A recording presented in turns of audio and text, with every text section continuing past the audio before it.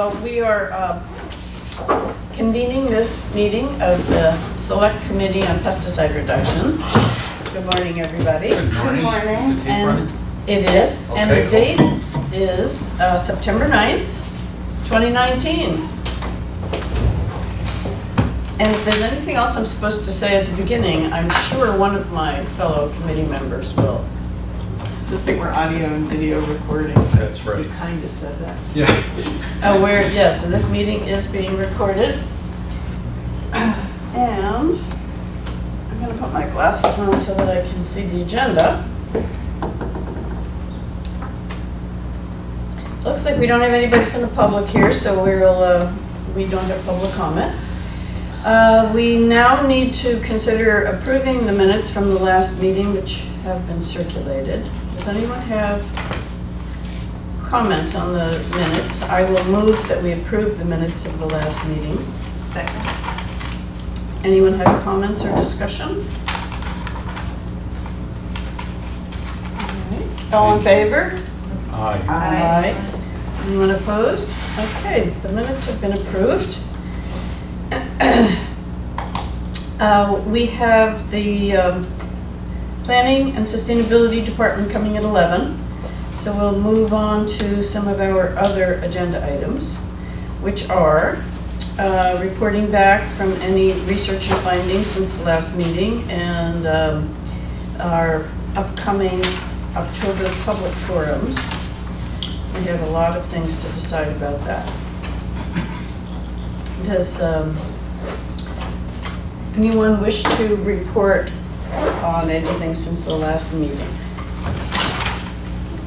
I can report on what I've done. Is that what you mean, or? That'd be great, thank you. That sounds about right. My son got married on Saturday. Oh, So, congratulations. Congratulations. I was even crying riding my bike this morning. It was so emotional. Uh, Thanks for hearing that. That's okay. It'll You're get in better. my Mandy, right. And there were no pesticides in this? None. Excellent. I made sure of that. And he knows your name is Kathleen, right? Yes, he does. He calls me mom. All right, I'm just pulling up my notes. So I was tasked with um, finding resources um, for training and possible grant monies and things like that for the city as one of my tasks. And um, I, I actually, I should have sent this ahead of time and I'm sorry I didn't I didn't think of it until just now. Um, sorry, I'm trying to open it. Okay, so there are actually a number of kind of interesting resources that um, that do subsidized or um, completely free trainings for municipalities to um, convert not necessarily entirely, but, you know, particular areas to um, organically managed areas. Um, And so I have a list of one, two, three, four, five organizations that help with that.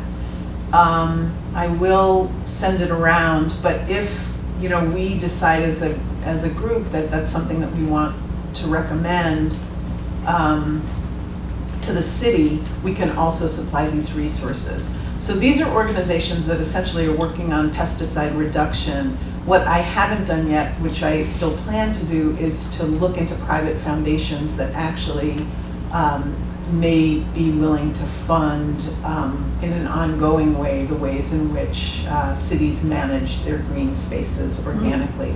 So that's kind of my second step. But just coming up with these five organizations um, was pretty, I thought was, was really surprising. Beyond Pesticides is working with Chip Osborne, who is the person from Marblehead, who essentially got Marblehead in 1991, so years ago, to go completely organic Mhm. municipally. Um, and he now has this business um, and works with a lot of nonprofits to kind of provide um, guidance to municipalities in how to do it. So Beyond Pesticides will um, fully fund a municipality to do two pilot sites of organic management of green spaces. Hmm. And then um, up to three years, I think, will remain in touch with the municipality to continue to give um, guidance about how to continue that process. Um, Excuse me, I'm sorry, what did you say his name was? Chip Osborne. Osborne, with an E at the end of Osborne. Um, He's very well known kind of in the, in the Mm. organic management municipality kind of world in the Northeast and does trainings for this other organization, Turi, which I forget what it stands for. Do? Toxic use reduction. Yeah. So Um, they, they actually are a granting organization, and um, we, Northampton has actually worked with them via the the municipality, the, the city of Springfield, that received a huge grant from them about five years ago. And Springfield actually wrote Northampton into their grant to Turi, and we had two people from the DPW trained back then, um, before we launched the organic management of Florence Fields. So Turi is known to Northampton and we're known to them, but um, there may be some opportunities there. Stonyfield Organic, you know, the yogurt company in Vermont, actually has an ongoing program to train municipalities um, throughout the United States to um, convert green areas to organic. Um, They do a once-a-year application process for municipalities, and um, it just ended, and I, I just missed the boat with it, but they did say on their website, um, you know, if you're interested, we'd love to hear why, and we may be adding people throughout the year. And so I, just for the heck of it, I put, you know, sent our, what our process, I told them about our, our pesticide reduction select committee and, um, and all that. So I don't know if that will amount to anything, but um, they also do it free of charge to the municipalities because it's a, a kind of um, goal of theirs. Um, and then there are two other organizations that supply kind of tools. They, it's not, and free, but they're not, they're, they don't work as closely as those other three. Did I say three organizations over? Anyway, but I will send this out and we just, it's just good to know that these resources exist and that there's this real movement, especially in the Northeast, to um, help municipalities to um, figure out non-toxic ways to manage green spaces. So that's the beginnings of what I have done. It's Very helpful. Thank you. That's great. It's very exciting. So you're going to send that uh, uh, out, will you also uh, be attach, sending an attachment for the minutes? Oh, I can do that, yep, Thanks. definitely.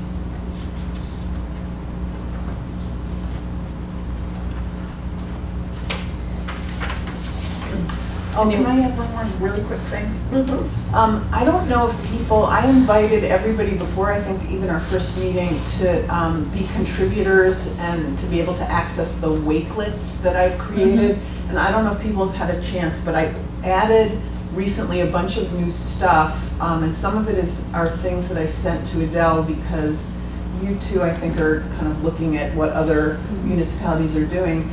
But I put um, a map, you know, there are, it's amazing the resources once you start really investigating. But I put up a map that, um, that notes every city, every municipality in the United States that um, has done something towards uh, less toxic management of their spaces. And so there are just all these incredible resources there. Um, But I don't, I don't want to encroach upon what you guys are going to share, but, but um, I'm putting things up on Wakelet all the time, so, you know, keep checking in about it.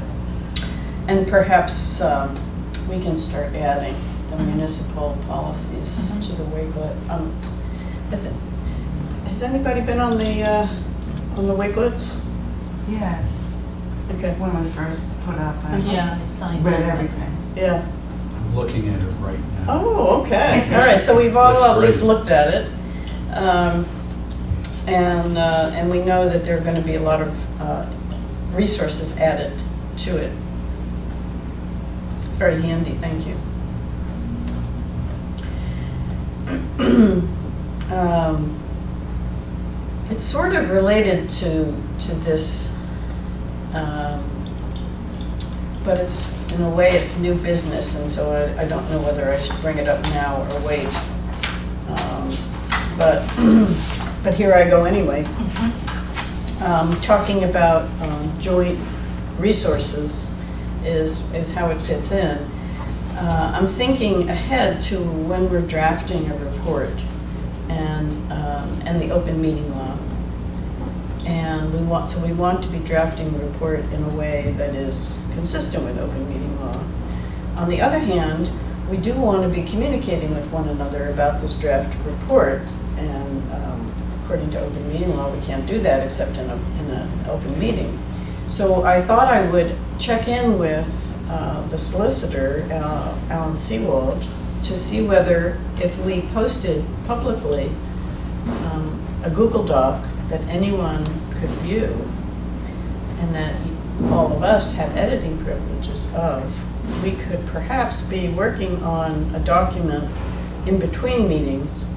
Um, And so I just wanted to raise that concept with you all. That before I- would satisfy the open meeting law. I would think so. regard to the Yeah, but we just need to confirm that with the solicitor.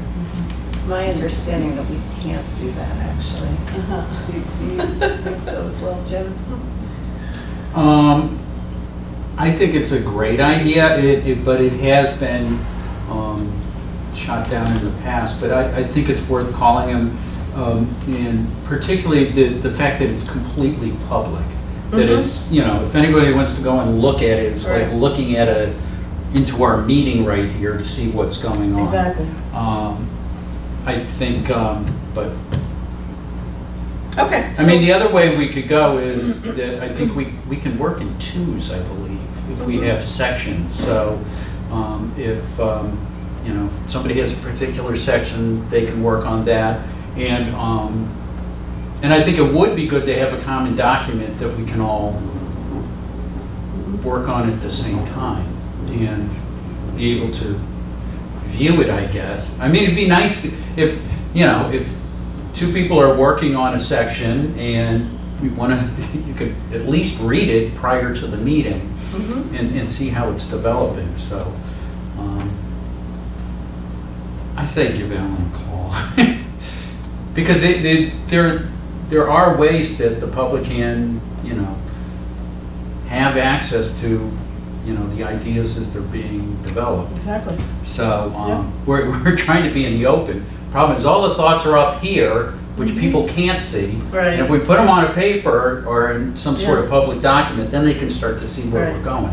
I believe uh, they could, in addition, uh, even if we have it view only for the public, I believe they, that the public could make comments on the document. If you have view only privileges, you can Right. still make, add a comment. So in, in a way, we were giving even more access than we would otherwise. Other thoughts? I just want to add that on other boards, and with, particularly I'm on the board at Cutchins, we've done a lot of work with Google Docs, and it's, Mhm. it's super great. I mean, it's very effective for Yep. um, uh, developing, drafting things, so. Yeah, I agree with you. I, I'm not familiar with it, um, but I, I think the concern that I would have is everybody's putting stuff in. How do we know what we want to accept or reject? Who's the acceptor, rejecter?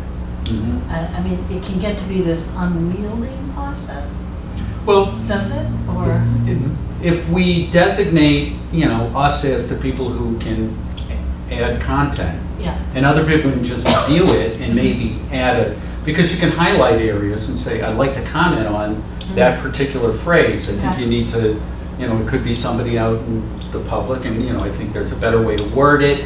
Here's a link to more information on that, and, um, And that appears on the side. and that appears on the side. It doesn't go in, it- so it becomes a resource, it becomes information for us to create the draft. um, Does it, everyone that sees it, sees that information that's on the side? the I think they do, they would see the, the comments. So again, that would, Yeah, I'm not familiar with Google Docs, but I really can't cool. wait to get in and check it out. It's great, yeah. I'm wondering if we should have a template format of what we're, I mean, when I think we're supposed to make recommendations to city council, uh, but how, what, what format or template would that? Of the report. Yeah, Oh, okay. um, that just, as opposed to starting with a blank page. So Yeah, some that's a format. idea. at some point we could, um, after we get our research done, see, okay, it looks like we need to recommend chemicals, or it looks like we need to, you know, whatever it is. just I'm have worried that sections. we're kind of descending into a conversation that wasn't on the agenda. I don't think we put, you know, format of the report on the agenda, is it on there? It- It's not, so this is under new business, and um, I brought it up because I just wanted to get people's initial reaction to having a conversation with Alan Seewald. Sounds like that New part's business is okay. when you kind of bring up that you want something to happen at another meeting. You're not actually allowed to bring up anything and discuss it at length. Okay, so, um, We're just, we're just going a little beyond the, the scope all right, of what we're so, to so do. for, uh, under new business, for a future meeting, we will discuss format for our report. How's that? Sounds great. Okay. Any other reporting back? um, What do we want to do right now? Well, I, I just want to add that um, Cindy and I were to be working on reaching out to city departments. That was kind of, but you have done an amazing job. Th- th- So thank you for taking over that. And, you know, it's just, oh, it looks, uh, Dell's just doing it. Okay, great, this is getting done. All I did was follow the mayor's I know, I know. instructions. Well, we had come up with some system yeah. where, you know, we were gonna reach out, we're gonna have a list, and then you just went and did it, so. Well, I think we, But we take credit. we decided, we decided to do it this way, right, at the last meeting, right? yeah. So I, I was sort of like, okay, I don't have to do that, because we're gonna do it. Right. Yeah. Okay. So I'm glad that we're doing it this way, yeah. Well, and remember, what we said was that if we could not complete all the interviews Mhm. doing it this way, that then we would be going to An alternative. Plan B, which would involve you guys reaching out. And we don't know how well this is going to work because we have so little detail back from the mayor's office about who's attending. We don't know who's coming, going to show up at 11 o'clock. We Oh, don't know who's going to come to these other uh, appointed times.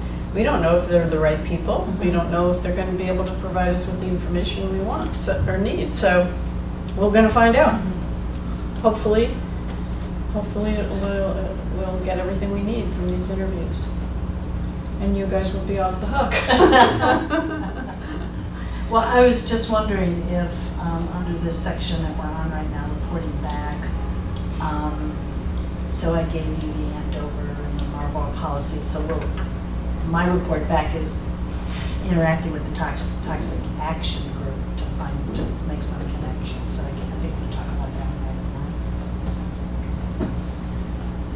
And I did send those out last night Yeah. after I read them and realized that, you know, they were pretty easy to read and very interesting. Yes. Uh, So, um, okay. I have one more task. So report back is really brief.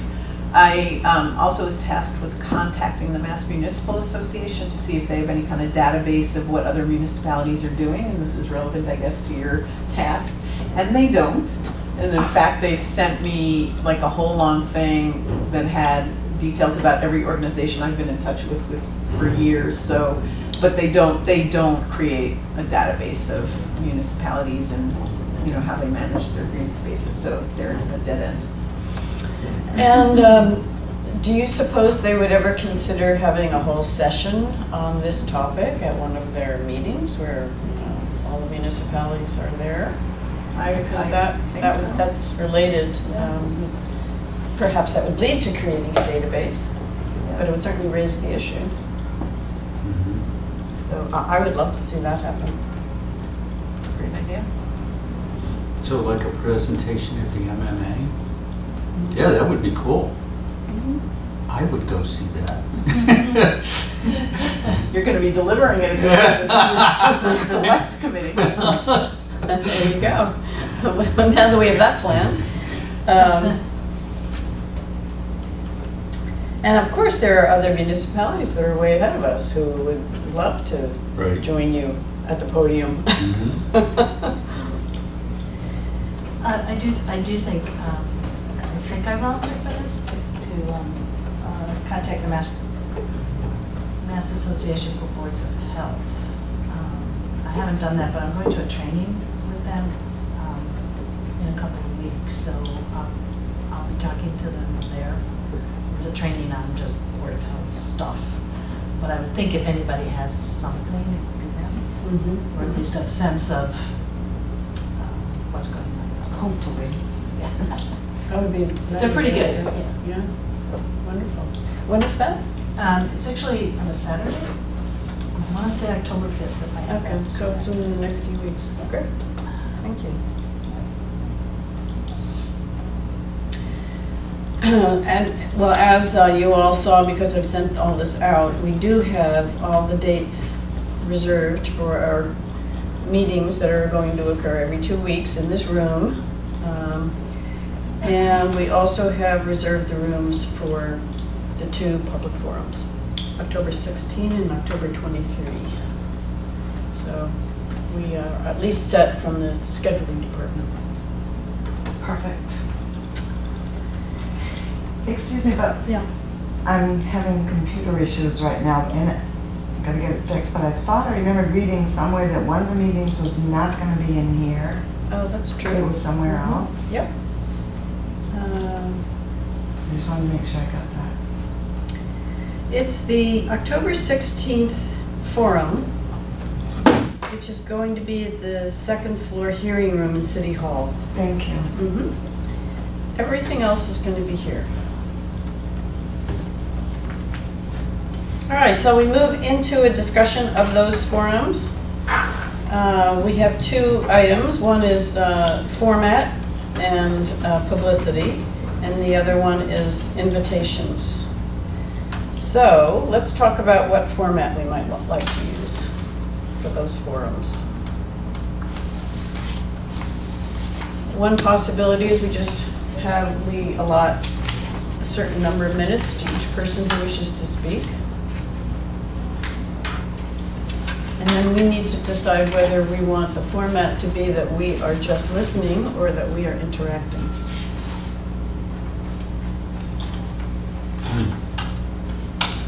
Thoughts? Um, Well, I, I expect that we would be interacting and asking questions and um, that, um, that we're investigating and we're not, um, I, I don't think we're, we want to model ourselves after a city council meeting, but more uh, uh, um, like a, um, like a subcommittee for council. And that, um, where the public can interact with what's being discussed.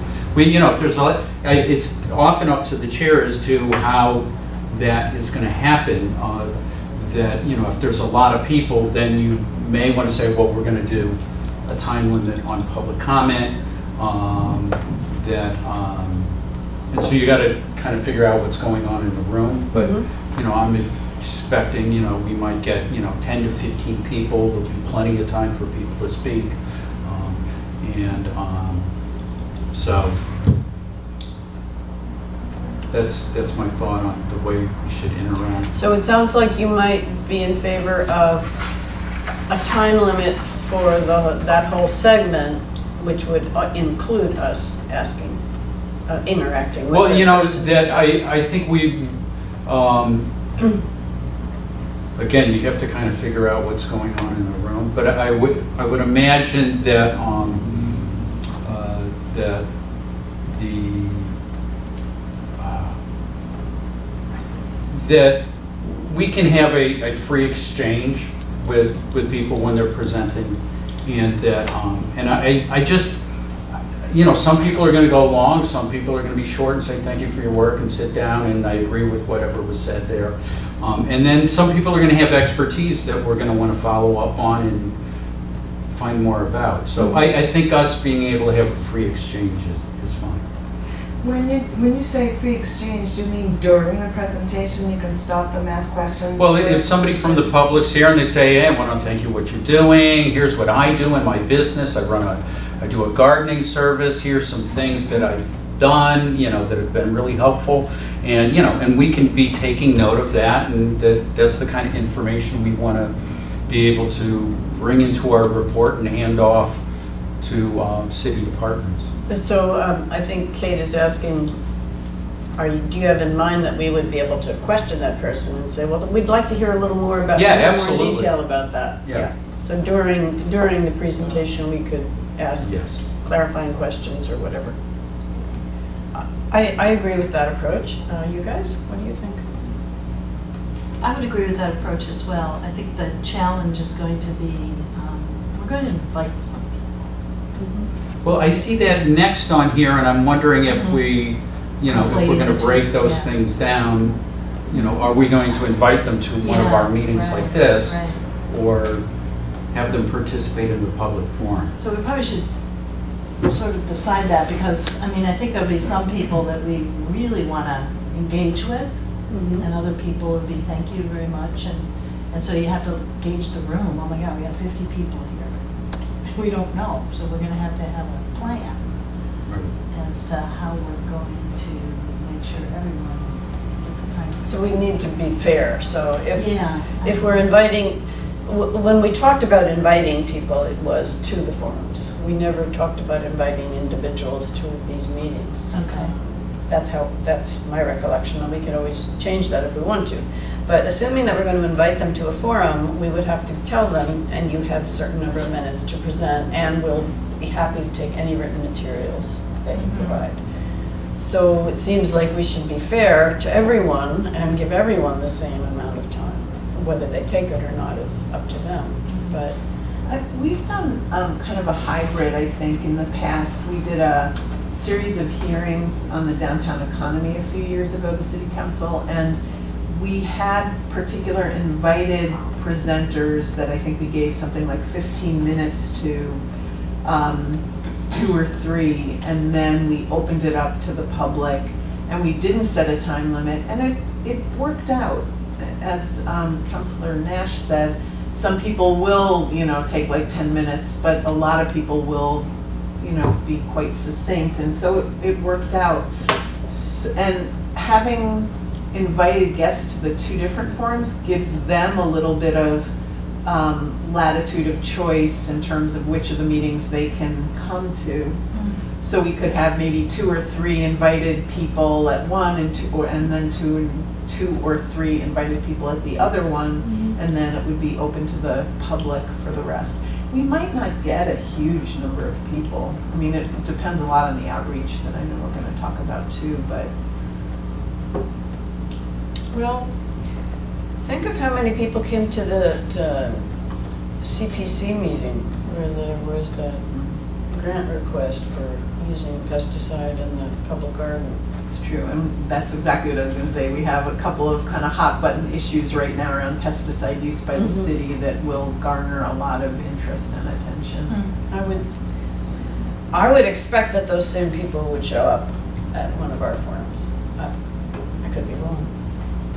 And, you know, maybe we, we should set a limit then, and I think it's okay to say these are invited experts and they have ten minutes or fifteen minutes, and then, um, for the public, you know, we have, you have three minutes apiece or something, so that we're not, you know, risking being Mhm. overwhelmed. Yeah.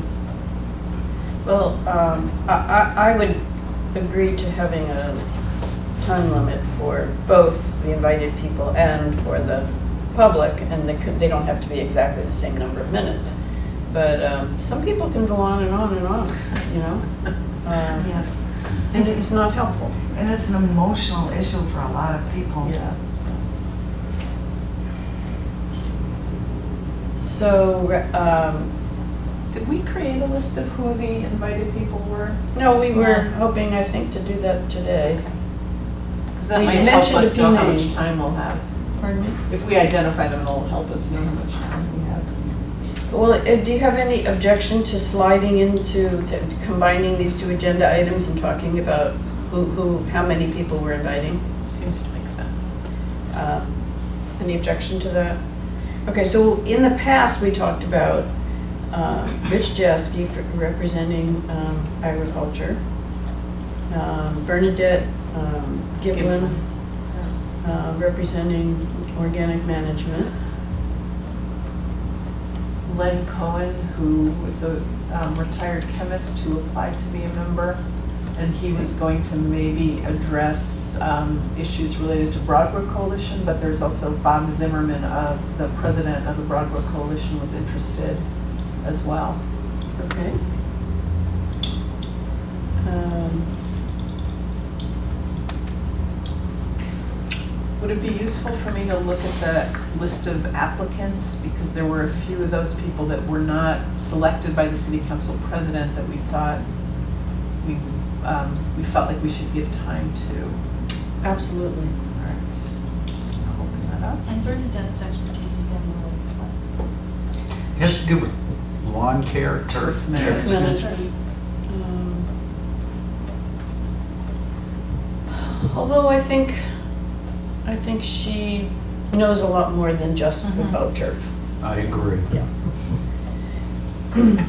Michael Skillikorn or anybody, Oh, I right. think, from Grow Food Right, Northampton. right, Right. So invite Grow Food Northampton essentially to do something.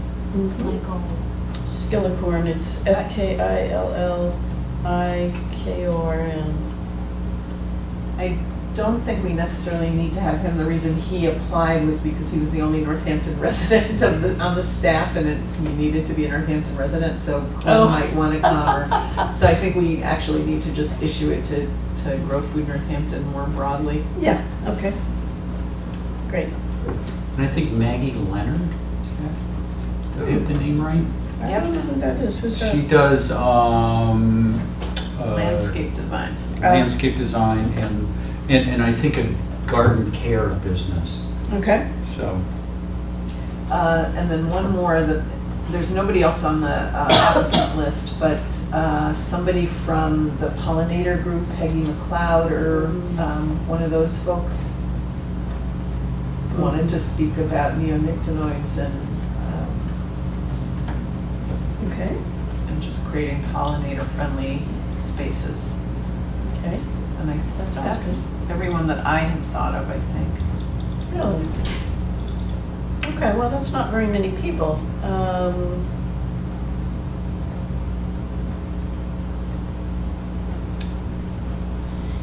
I, I,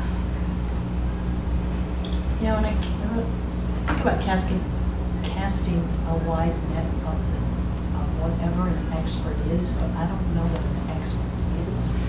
And I would hate to have a general public person who's exposed to pesticides, you know, they're an expert too, right? No pun intended.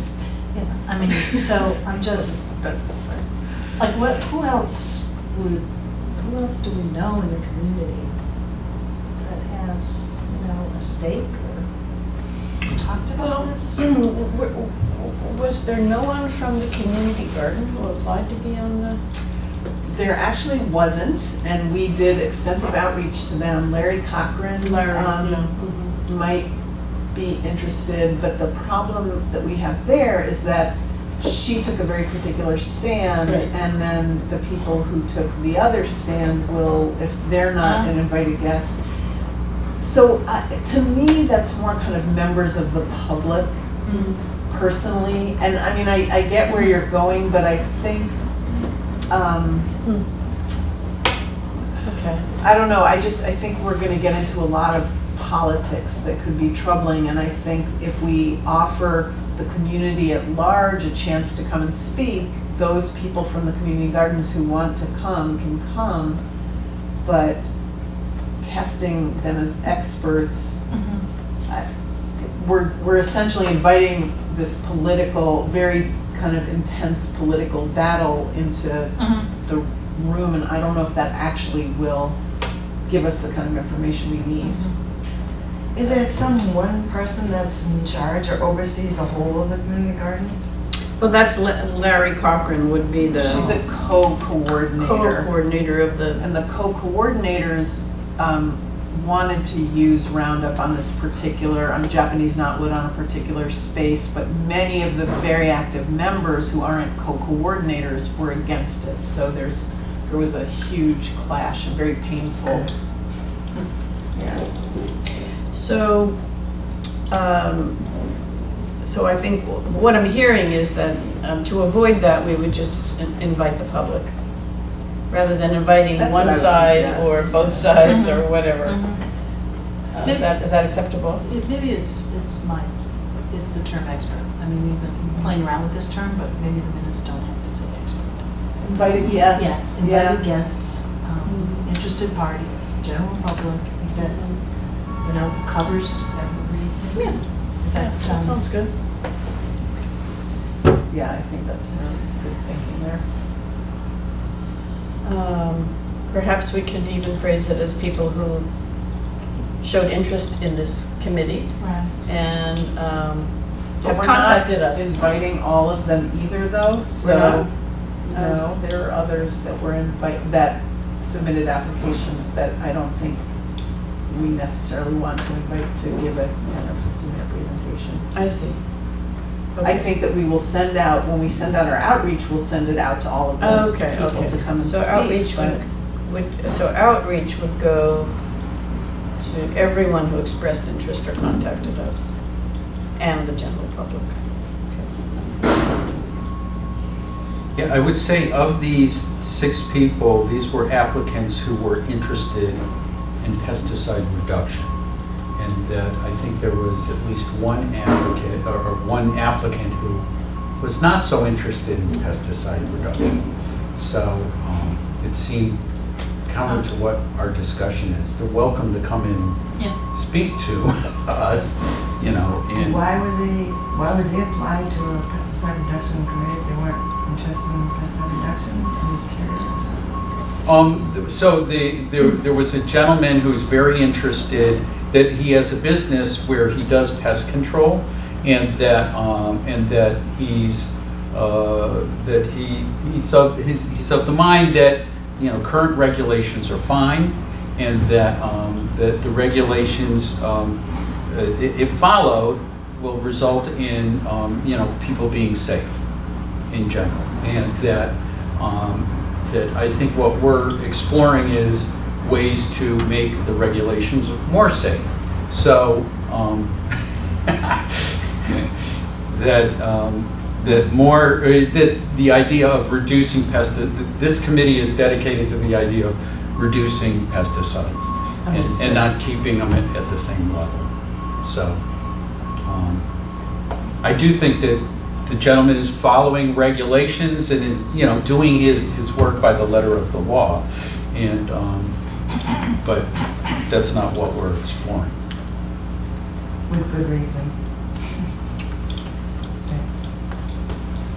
Can I review the list that we've had so far? Yes, To make sure, um, not in a political.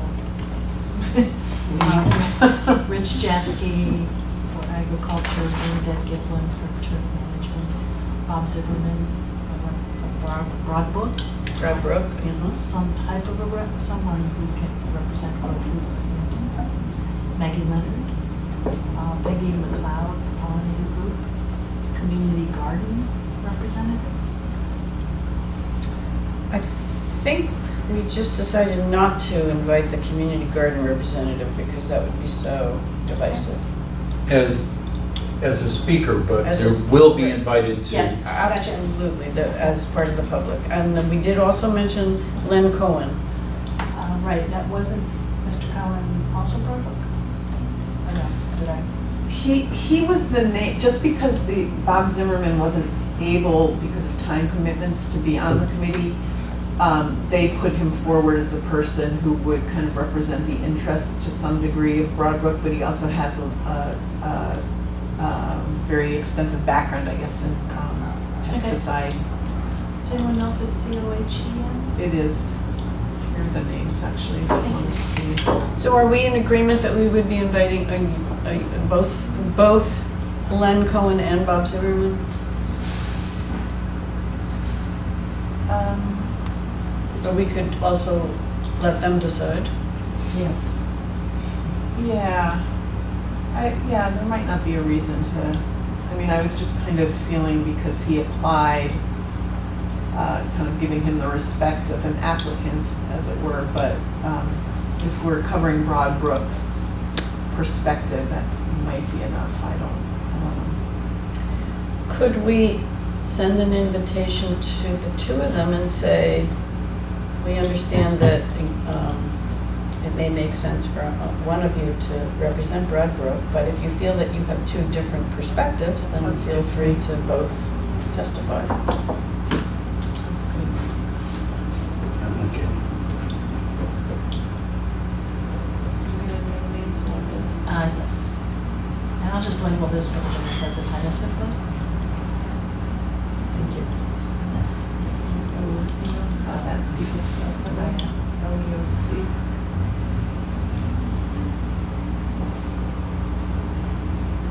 Okay, so we have our, um, we have our invitation, tentative invitation list.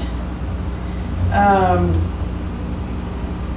How about, how do we want to get the publicity out? I think a letter to the editor, maybe by the chair and co-chair, signed by the chair and the co-chair, is always a good way to reach a certain part of the population via the Gazette. Mhm. Um, I think we need posters. Posters. I think we, Posters. it- seriously, that's, it's been Mm. useful in the past. I mean, not a whole lot of them, but certainly put them up, you know, around City Hall and I Um, have to City say Hall. that I remember when, um, whatever it was called, the big event in Florence this summer. Um, not first the night. Florence night out. Yes, exactly. And I was asking them how they publicized it, because at first it didn't seem like anybody was coming, and I was so concerned. And then boom, a whole flood of people. They did not do posters. The Gazette was too expensive. They used Facebook. Oh, Yeah, of course. social media. Okay, so social media. We didn't get there yet, but yes. I'm not on. Facebook, but that Yeah, appears to be extremely, Yeah. Yeah. We can ask the mayor's office to put Uh. a notice on the homepage of the city. But we need to design a poster too that, um, It's Facebook friendly.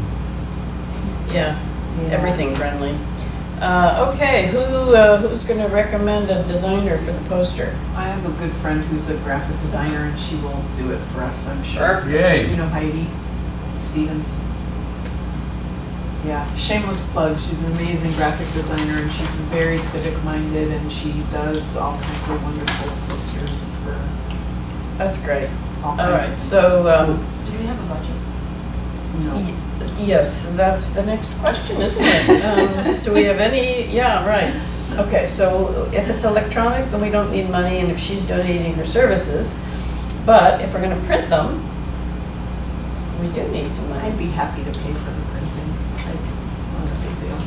Okay. Yeah, I'll Well, we can pass a hat. How about we pass the hat? you can do that. Uh, oh, and, and then, of course, the question is, are we doing color or are we doing black and white? What size? Uh, We'll let that, we'll leave that up to the. We're not uh, gonna do a huge amount of posters. Okay. What do you pick, like 20? I was thinking like 20, 25. Yeah. Like three or four in downtown Florence, a few around here and downtown, but we also have to put them up. That's true. But social media really is a kind of the easiest way to go, I would say. it's the most au courant, modern way Oh, of doing it, it. it is, it is. Oh, And, the um, other thing is, um, for free, you can do those listings in the Gazette, the, the Valley Advocate, uh, right. um, the Republican. They just all have online processes now where you just put the information in on their websites. Okay, do we have a volunteer who is willing to take on posting this for free in the Gazette and the Valley Advocate? And the Republican, I'd say. Does- Do you think anyone from Northampton actually reads the Republican? My neighbors in Leeds do. Okey dokey then, let's do it. Okay, Well, I was going to volunteer to put the posters up. okay, thank you, that's great. So they really, put you can really do that for free? What? Is it Valley Advocate and Republican? That's just those listings, like on the, in the Friday section with all the events happening. Oh, It's not, it's, it's not like creating an ad or Gotcha. anything, that would cost a lot of money. Gotcha. But a letter to the editor, of course, is free, that's a good way to get the word out that you don't have to pay for. Um, so I can do the community listings in the Gazette, Valley Advocate, and Post. All right. Thank you. Um, And then Jim is going to be here. What? You were gonna do the legwork on Putting the posters up. Yep, He's gonna go around with thumbtacks. yeah. posting, posting. Okay. Uh, I'll Is there a draft. bulletin board at the community gardens? There is. Yeah. Mhm. There's a, I there's a imagine at most locations. Yeah, there's a shed, and Both on the side, there's a bulletin The board. organic one too? Is that, which one are you talking about? I'm talking about the Northampton uh, Community Garden, then the one at um, the Grow Food Northampton Organic Community Garden, uh, I haven't been there in a while, but, I haven't been to either of them in a while, but I believe there is uh, also a bulletin board there, which is under um, a a weather protector thingy. So, You're gonna um, drive around? will and do you, are those? you gonna go to both of those? I will go to both. Yeah. All right. Um, I like driving around. That reminded me when you said that about Grow Food Northampton, Adele, that another thing is just using, leveraging kind of all these organizations that are interested in what we're doing. And Grow Food Northampton could maybe, they, maybe they'd be willing to send something out to their constituency. Right. Um, I think we should brainstorm other organizations in town that, you know, send out email blasts that might want to let people know. Grow Food Northampton's an obvious one. Are there any others? Broadbrook, they have a, Yeah. The Leeds Civic Association, I'm sure, would be happy to send something out. Also, the, all of us councilors have listservs for our wards. Almost all, not all. I've I've learned. Right, not all. Wa- The word, the word lists. um, okay. Senior center. And I suppose we could, Yeah. we could, oh yeah, that's a good one. Um,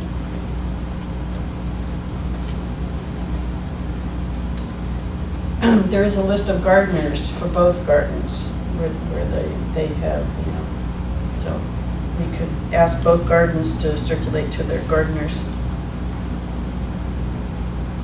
And I- I'm sure I- that Peggy yeah. McLeod has a, has an entire listserv. She does, she does. And I, when I was um, doing outreach to try and get people to apply, I developed a pretty extensive, it's probably about a hundred, maybe ninety people, something like that.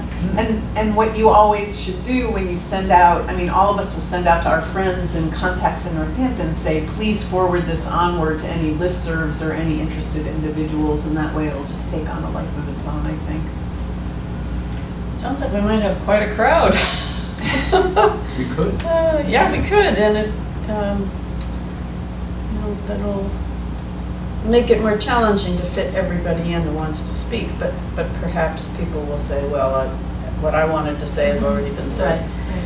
Um, okay, then, we, once we have this poster, we could also ask the mayor whether he's willing to tweet and Facebook it, because he's got quite a following. Okay. Um,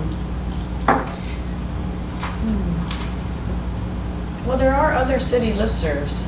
DPW has a listserv. um, Planning and Sustainability sends out notices all the time to people. So, I mean, we could ask all the city departments to do that too. Oh, boy, okay. All right. Uh, Well, I'll draft a letter to the editor, and then I'll, um, let's see, can I circulate that to, I know I can circulate it to you, uh, Cynthia, but I don't know if I can circulate it to all five of us, according to the open meeting law. Probably not. If we talk about it at one of our meetings, we look it over at one of our meetings, Okay, so we can just have, that because we're meeting in two weeks. Right. so Yeah, if you have a draft, then we can say, cool, send it out, and Okay. then we weigh in as a committee. Excellent. Okay. Well, we certainly have generated plenty of, um, what are the dates on our things, October 16th and? And the 23rd. So a question I have, if I'm gonna work with Heidi to develop a poster, um, do you do you feel okay with me coming up with language for it? Should I, because again, we have that issue with open meeting law that I can't send it out. I mean, I can send it out and you guys can send me individual comments. Be sure that you don't reply to all, I guess. Mhm. Mhm. Is that, so I'll do that, and when the poster's done, Heidi will, you know, let me circulate it amongst you and any comments on the poster itself, and, okay, great. Make sure you have a skull and bones on there. Any inflammatory imagery, like dead children or something. Get their attention. That's a good reminder, Lisa, anything any of us send to everyone, we can comment just back to that individual, Mhm. as opposed to replying. In fact, pre- we have a practice with city councilors that if we send something like that, that out, we always have a quick reminder that says, you know, "In an abundance of caution, please remember not to reply to all, or, it's a good practice, because otherwise you sometimes forget, or, Okay, well, we'll try to remember to include that sentence in every one of our communications. I would think the poster is the first thing we get off the ground. Yeah. I think that's very important. And I guess the only thing that I would be, that people know city council, and they see that we're city kinda, but we're not really, that all this body is doing Mm-hmm. is making recommendations. It's not doing anything other than that. So, I wonder if we have, we do have somewhere, um, language that was created, I mean, we have the resolution that created this, but I'm gonna see if I can find like one sentence that just mm-hmm. kind of explains the mandate of this mm-hmm. committee to include on the poster, so people get that, yeah. But it That is sounds great. called essentially the, the city council select committee on pesticide reduction, and then I'll just have one sentence with the mandate, talk about the public forums, the dates, try and keep it as Yeah. uncluttered as possible. I would stop reading after the word council, you know, it's the city council and pesticides. That's, I mean, it's just like, you know what I mean? It's just like, because I don't live in this world much. Well, you don't have to, you don't have to really, you could say, you could have an asterisk at the bottom Yeah, that what- talks what- about how what this, this was it. created by the city council. You don't have to have it in Yeah. the large letters. All right. Heidi- Pesticide in large Yeah. letters. What'd you say? Heidi, the designer, will know. It should, yeah. Don't lead with City pesticide council. reduction company. Yeah. City Council Select Committee. Yeah.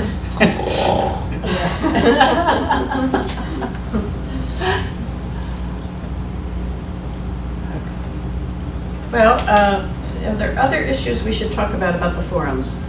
So the format is going to be that we'll, would, would, we would have, um, we did agree, I believe, that we're going to give our invitees some sort of time frame.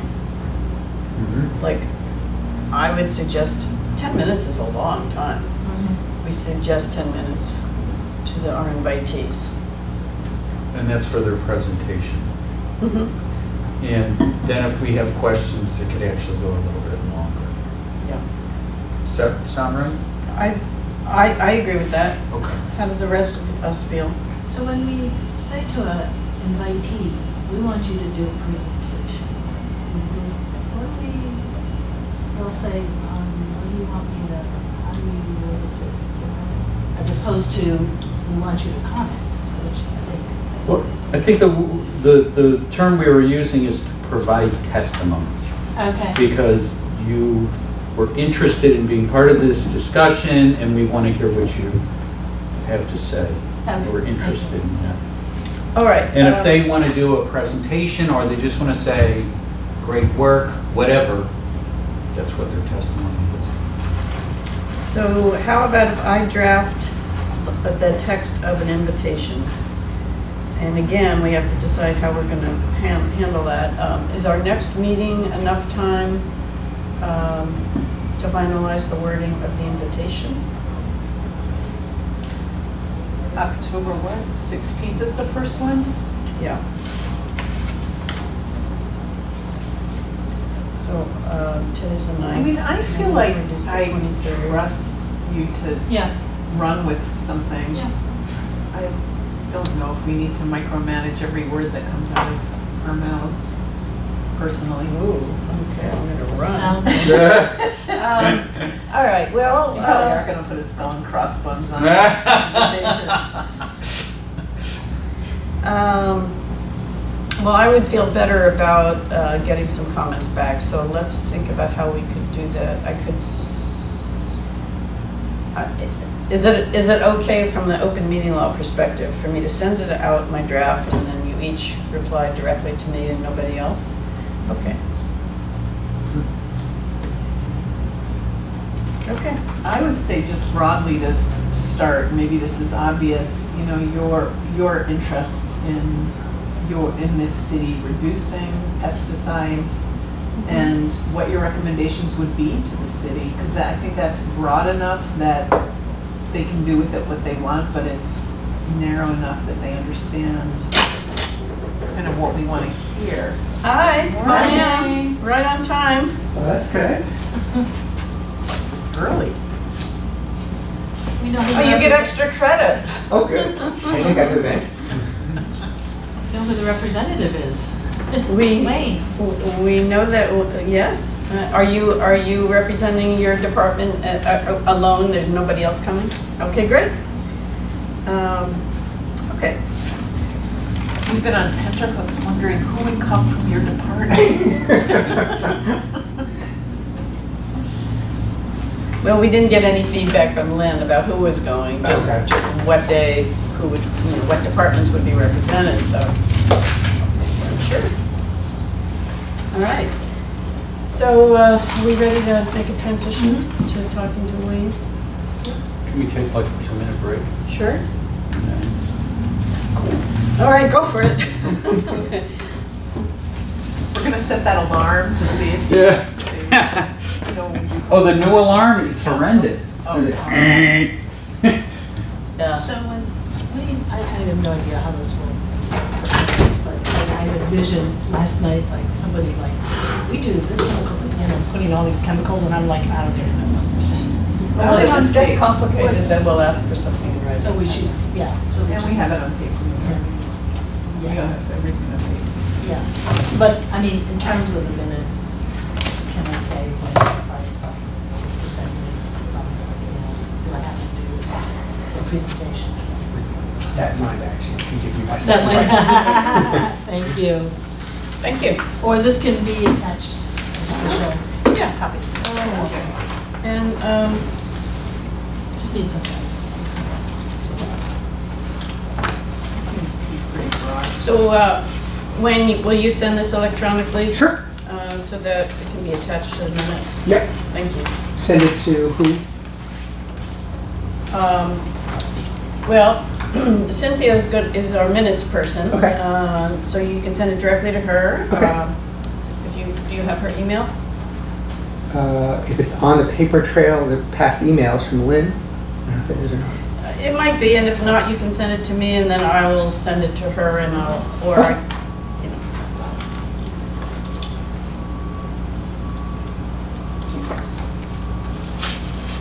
I don't remember if, um, if Lynn copied everybody or not. Um, um, She might not have. No, you forwarded something to us. Yeah, I think I forwarded it. Did you lose, lose sleep all weekend preparing for this presentation? What? Well, thank I goodness. mean, I know I should be stressed out coming before you, but I wasn't. Do you know everybody here? Yeah. My name is Kate Simmons. Oh, excuse me, wait, Nice to meet you, Wayne. So when we, um, w- when Jim comes back, I'm way back. oh, okay.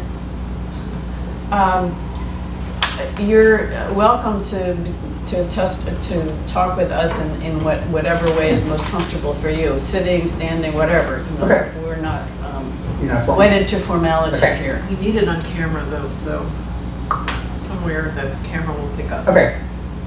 Just that one or is that one working too? That one. Okay. Which is your best side?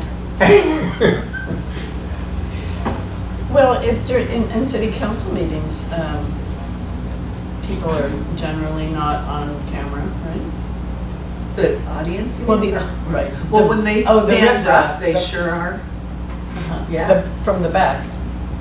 Well, in council meeting, these are all live. Yeah, we have behind it. cameras that are motion activated, and we have a person Oh. in the booth all the time who's like, Oh, I didn't on- even know. Yeah. Oh, now in fact, More it's really interesting when someone's at the podium and people are sitting and they don't kind of realize that they're on camera. Like, you can see people kind of engaging in interesting practices. If you watch the meetings. You know, people sleeping or picking their nose. Oh, well. Oh, city government. The next time I, I get, I don't have anything else to do, I think I'll tune right into one of those Yeah, old, old meetings. Start watching them.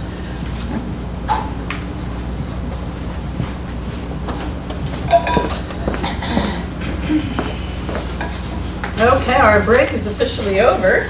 And uh, Wayne, we would love to hear from you about what pesticides are used by your department. Um, um, Is our understanding that um, you oversee both farmland and uh, conservation land? Is there anything else? Uh, Some of the bike path as well. Like, So, yeah, let me, I- I'll, I- let me do a quick summary and sort of take whoever Thank questions you. you. You want to sit or with us or be, Whatever works for you, I don't care. which is more comfortable? Yeah, we want you to be comfortable. Okay. So roughly, um, about 15% of the city, that's not the exact number, is land that's owned by the Conservation Commission that my office is charged with maintaining. So, um, so it's a big land mass. That includes some farmland that we lease, about five parcels that we lease. Most of it is more pristine property. Um, And Wayne, you're sitting in a place that's exactly not on camera, so if you could either move maybe next to Jim or, Sure, that works. Come on over here. I suspected that the podium was blocking you, and it was. Okay, Thank sorry. you. Um, So that, that conservation land, say roughly 15% of the city is our primary responsibility. And then Department of Public Works is the primary agency for maintaining the bike path. But my office, the office that builds bike paths, and we're wedded to the success, does a lot of work keeping them alive. And in particular, Japanese knotweed along the bike path, we've been doing some work there. Um, So, so we do all those areas. I I just want to preface by saying that we are I like to name of the committee as being new pesticide reduction. Our goal has been to use as little pesticides as possible, and so I went, I- I'll walk you through the memo in a second, but our goal is to always look for alternatives for pesticides when we can, we're trying to, to reduce it. Um, But we also think basically it's impossible not to use some pesticides and herbicides, um, and so we're not purists. I- I- Again, this isn't an memo later, but I'll just give you one quick example we had Japanese knotweed at Mineral Hills. And so, so we, you're me when I go through this, but we tend to think of sort of big environmental footprint. Don't just look at pesticides in isolation, think about the context that they're based. So we had Japanese knotweed stand at Mineral Hills. Some in my office, we have a licensed applicator in my office. Some in my office went up there and physically cut it and then painted the stems or sprayed the stems.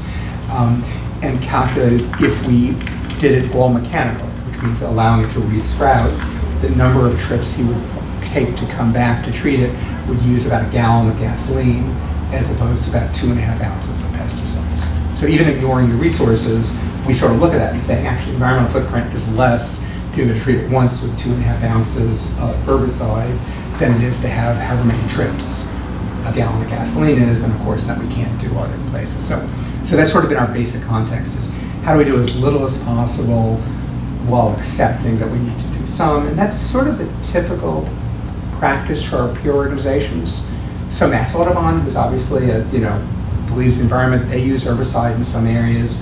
Grow Food Northampton um, has asked us, can we control the, the invasive, so we have about a half mile, three quarter mile edge at the Grow Food Northampton of land that we own.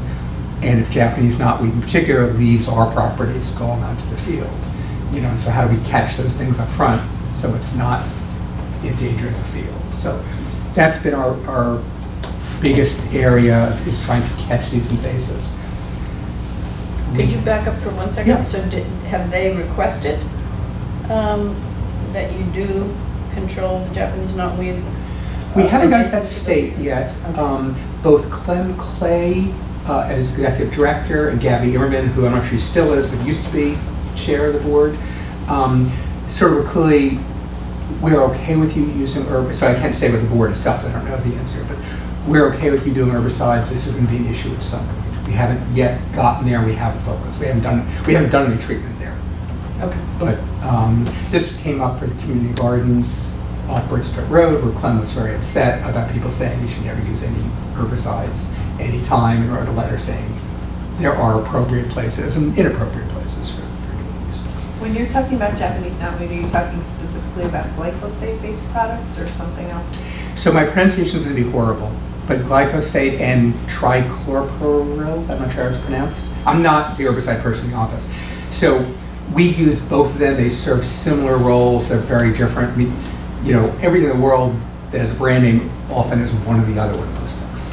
Um, But the people in my office who use, we've had over time three different license applicators, so we have, we have one right now.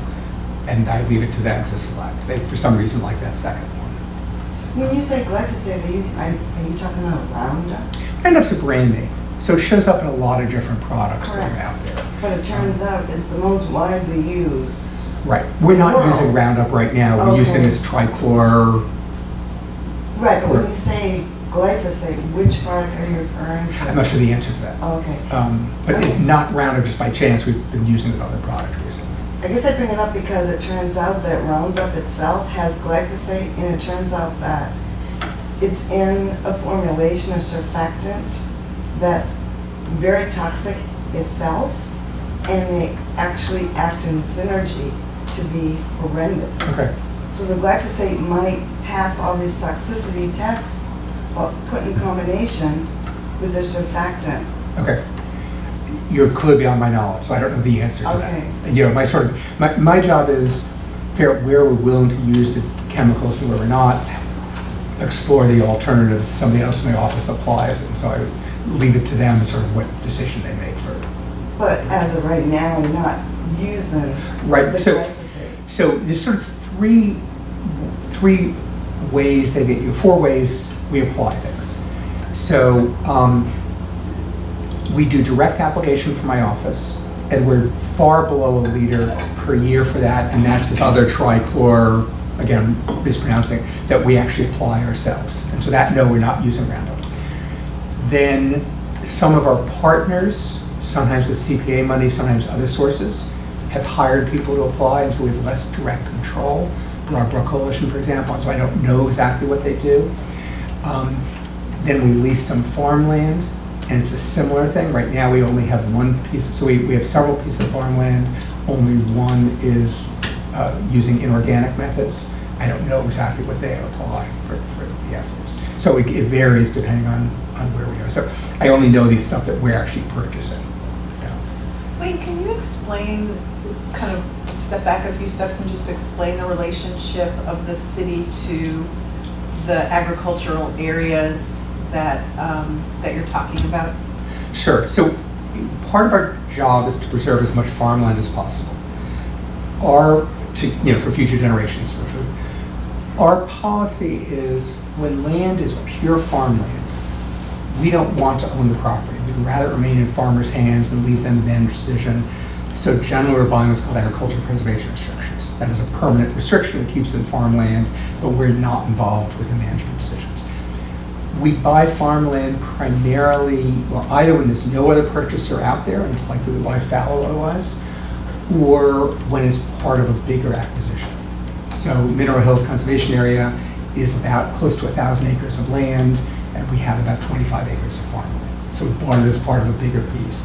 So generally, that's our pattern. You know, Connecticut River Greenway is 200 and some odd acres, and we have So the city, for Mineral Hills as an example, has bought this land, 25 acres is farmland, and the farmer that you bought it from is managing it? No, so different farmer.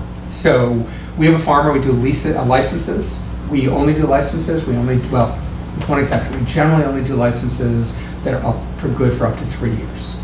Um, So that the- it's sort of convoluted procurement, but when we own land, and didn't anticipate doing licenses up front, the maximum we're allowed to do is a three-year license. Sometimes when we buy land, we plan ahead of time, and we know we can do a longer-term piece. Um, We have sort of a couple policies for the farmland. One is we do a case-by-case assessment of how sensitive the site is. So the land we own in the Connecticut River, we do that as organic only because we're very worried, floods regularly, and we're very worried about chemicals going to the river. So we haven't allowed that to be used for chemicals. Um, And so that's, that's our default. We think about what it is. The two times when chemicals make sense for us, one is we have a policy worked out with the Ag Commission that we'd like to preserve. When I first got here, there were two dairy farms in Northampton. And as the dairy farm shrunk, we have no, no dairy farms now, the whole infrastructure collapses. So you can't just have one dairy farm, it's not worth the milk trucks driving around. We're very sensitive being responsible for that. So we want to allow historical farm use to continue. So the one area we allow inorganic treatment is on um, Sylvester Road. Um, And that's because the farmer Parsons um, farms it, and it's not, you know, he's an, you know, it's not like along the Connecticut River where there's 3,000 acres of farmland. There's only a few farm parcels out in the western part of the city and the eastern part of Westhampton. And we're always worried if you lose a farm at some, at some land to farm, at some point you go below the threshold to keep your operation viable. Uh, And so we don't want to threaten his operation, frankly, because we, we want to keep farmers there. So that's sort of the second one. The, the other criteria, which hasn't come up a lot, would be my priority is this again is the total environmental footprint.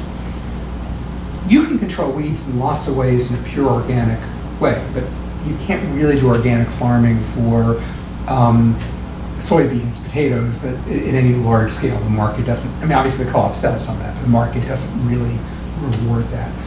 Um, No-till agriculture is where instead of plowing the soil and turning over the sod, you're basically just doing a furrow through this, through the area, and um, you're not getting rid of the weeds by, by turning it over. It's been out there for 45 years, but it still hasn't gained a lot of acceptance with farmers. Um, It has dramatically less soil erosion. You know, if you think of, it takes 500 years on the average to create an inch of soil. Um, No-till has a lot less erosion, a lot less loss of carbon sequestration, and no-till to me is a really high priority. No-till, again, they're organic practices, but no-till is more likely to include herbicide than till. Um, And so from that standpoint, we will do almost anything to encourage no-till. So we would probably tolerate some limited herbicides for no-till in a place where we would. I thought I remembered hearing that it uh, reduces herbicide use as well. That's right. You don't turn up the soil, you don't expose the seeds to light, so they don't germinate. That's exactly right, but you do need to have some, Some right. Sort of control. Right. So no-till is sort of the, the gold standard for us. And again, to be clear, I'm not a farmer. I know nothing about, you know, I, I, I spent my first 10 years in soil conservation before I became a planner, the first eight years. And so I'm very sensitive and have worked with farmers for years, but. um, Well, I, I think it's really important for, for the minutes and for all of us to understand that there are different, people mean very different things when they use the word no-till. And so one way of using that word is, yes, you spray glyphosate on the whole damn field, and, but you're not tilling. Um, And the other, there is a, there is a current uh, use of the term, which is very restrictive. It's, you know, better than organic, um, but it would never allow um, herbicide use. Right. So when we say no-till, it, it, you know, you have to be really careful how you say it. And what you're saying, how you're using it is that it, it can be done in conjunction with herbicide use. So um, that's a very important distinction in my And- mind. And one of our distinctions, so we know that our farm population is sort of bimodal. In terms of acreage, the majority of our farmers make me seem like a really young guy. Um, And they are late 60s, 70s, often don't have transition plans, kids don't want to go into farming, and most of the meadows is those farmers. And if we had this conversation 15 years ago, I would have said that was it for Northampton farmers. Since then, we have a lot of young farmers coming in, a lot of organic farmers, but in terms of acreage, they're still pretty small, they're mostly not interested in the meadows. Um, And so keeping, you know, keeping farmers alive is really critical to us. And so that, that's, you know, that's why frankly for Parsons, we're happy to accept the some amount of herbicide use out there as we're balancing different goods that are out there. Um, So why aren't they interested in the meadows, the new farmers? Um, harder to control, well, floods more often, Mhm. and that's not such an issue for potatoes and soybeans and corn. It is more of an issue for vegetables. Mhm. You can, the areas that's in a hundred-year flood, you know, it's like right along Hockman Road, that's far enough high, and it doesn't flood that often. Right. You know, there is an organic farm, I think it's organic, on Cross Path Road, right along the interstate. But as you get lower down, it floods more and more frequently. It just doesn't work as well for crops. Um, And then it's, you know, it's, it's, organic is very labor intensive. If you want to have 150 acre, you know, Wayne Goulet, who's, has 10 years on me, is farming, I don't know his acreage, 150 acres of land by himself. That's not the sort of work plan you do if you're doing organic. Right. Um, And then, and so some of it is the floodplain, some is the access, frankly, in terms of robberies, that with is, you know, crops in areas where people drive by have less shrinkage than crops that are out of sight, so that's an issue. Um, And then some is just land tenure. Wayne Goulet, for example, has been unwilling to sell his land, you know, basically has been unwilling to sell his land, so, um, and Swanslasky is keeping, so far until they sue each other, is keeping the farmland in the family. So, so there are few landowners in large scale. We've worked most closely with one farmer who's late 60s, um, who doesn't have any kids and has been thinking about his transition plan. So we put an agricultural preservation restriction on. But they're all different stories. So through an APR, can we, do we get some control over what can be done on that property? So APRs have two flavors. Most of them are funded by the Commonwealth, they pay 90%, 80 to 90%, we pay 10 to 20%. Commonwealth would not accept restrictions on herbicides because they, even if you want to be organic, they sort of feel like we're doing this forever for the future. Mhm. Um, If we do a local APR that's totally locally funded, we could. Um, We have the same policy though, we don't want to restrict the future, even, even land that is organic and we want to remain organic, who knows what happens in the future. So you wouldn't recommend using an APR as a way to? Because it's forever. Forever. Right. Di- Different when we own land and- and lease it, because we can change our rules. Is there another way you could see controlling that, or? Well, the state, for example, this isn't about herbicides, but you could imagine the same thing. The state has a shorter-term program that's eligible if you're an APR or non-APR, where they give you some money for improvements. And in return for that money for improvements, they put sticks on it. So yeah, you could offer a funding program that says, in return for signing up for this program, for the next 10 years, you won't use herbicides. So in Farmers incentive markets. But couldn't the, the city also offer its farmers incentives? Absolutely. Yeah, same, same sort of program, yeah. Right, right. Either short-term or long-term for doing it. Mhm. Um, But there's still a risk of losing those farmers. And, and I will say, I mean, we have had, I love the organic farmers. We've done a lot. We, you know, used to charge rent. We tend now to switch it from rent to labor because that works for some of our farmers. Um, Like free labor, you know, a farmer, Parsons, for example, does some clearing of the margins of the field that don't make sense financially in return for getting free rent. The, the organic farm in the Connecticut River cuts some brush and burns the brush for us instead of paying us rent. Um, and so we, we've done those things, but we have never had a failure of a large production farmer, and we have had several failures of organic farmers. Enterprise Farms was the biggest one that failed.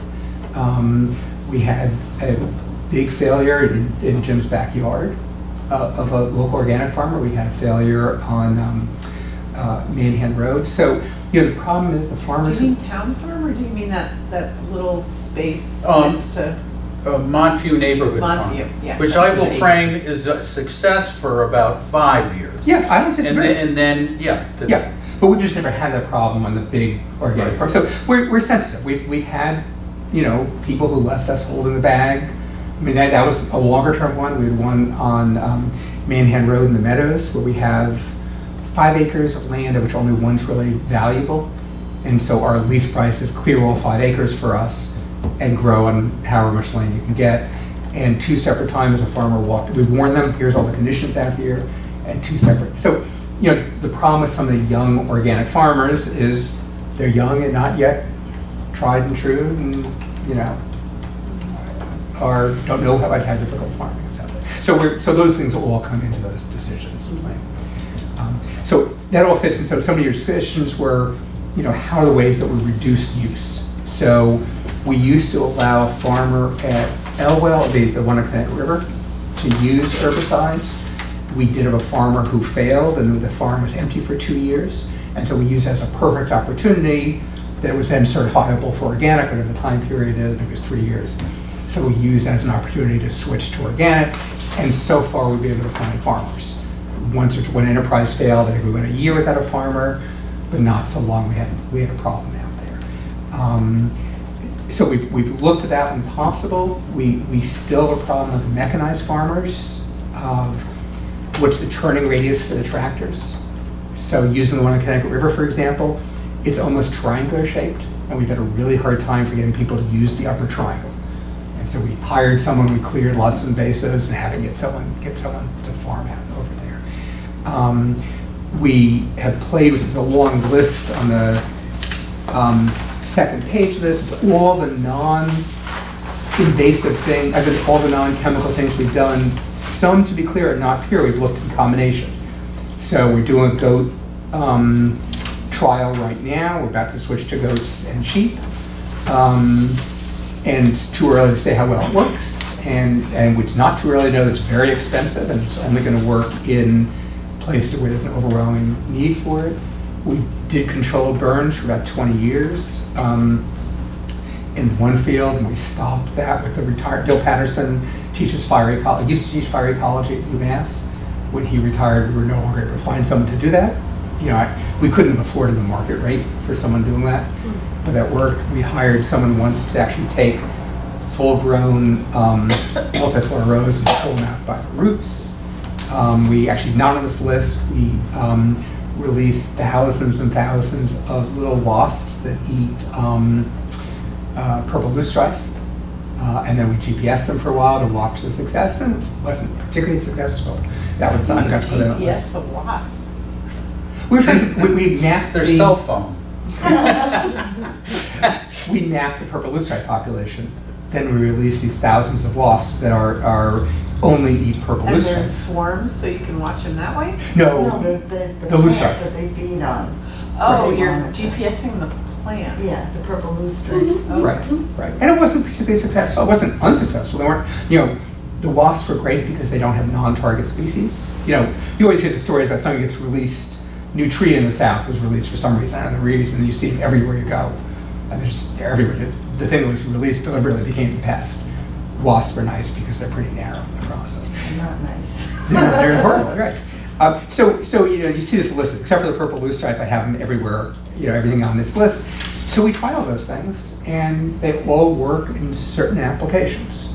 Um, and none of them are, you know, overall based. At at Brook Coalition, I don't know if you're gonna talk to Bob Zimmerman, so this is secondhand. I think the, the water chestnut they're using, I think they're doing that just mechanically, it's on the water itself.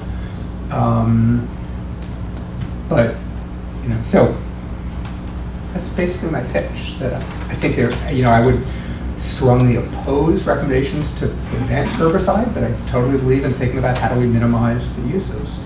Um, I was the one who sort of led the using herbicide at um, Florence Fields, and I personally think it was one of the best decisions that we made, because I think if we hadn't done that for two years before kids were using the field, there would have been, um, you know, we couldn't have controlled the weeds. I think the fact that we used herbicides before kids were there is what's allowed it to be organic for however many years it's, it's been organic, five years, six years, I was checked.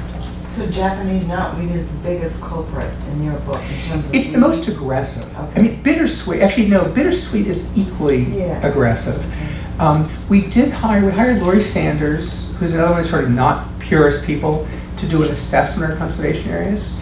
And what we found, I guess it was good news for us, is we found invasives were both worse and better than we thought. At the margins of our conservation areas, it was far worse than we thought. And deep and mature forests, it was a lot less. And so it did change. We have, we're actually doing our first timber cut in 30 years. So we don't do a lot of timber cuts. We do it only for stand improvement, not for, for revenue.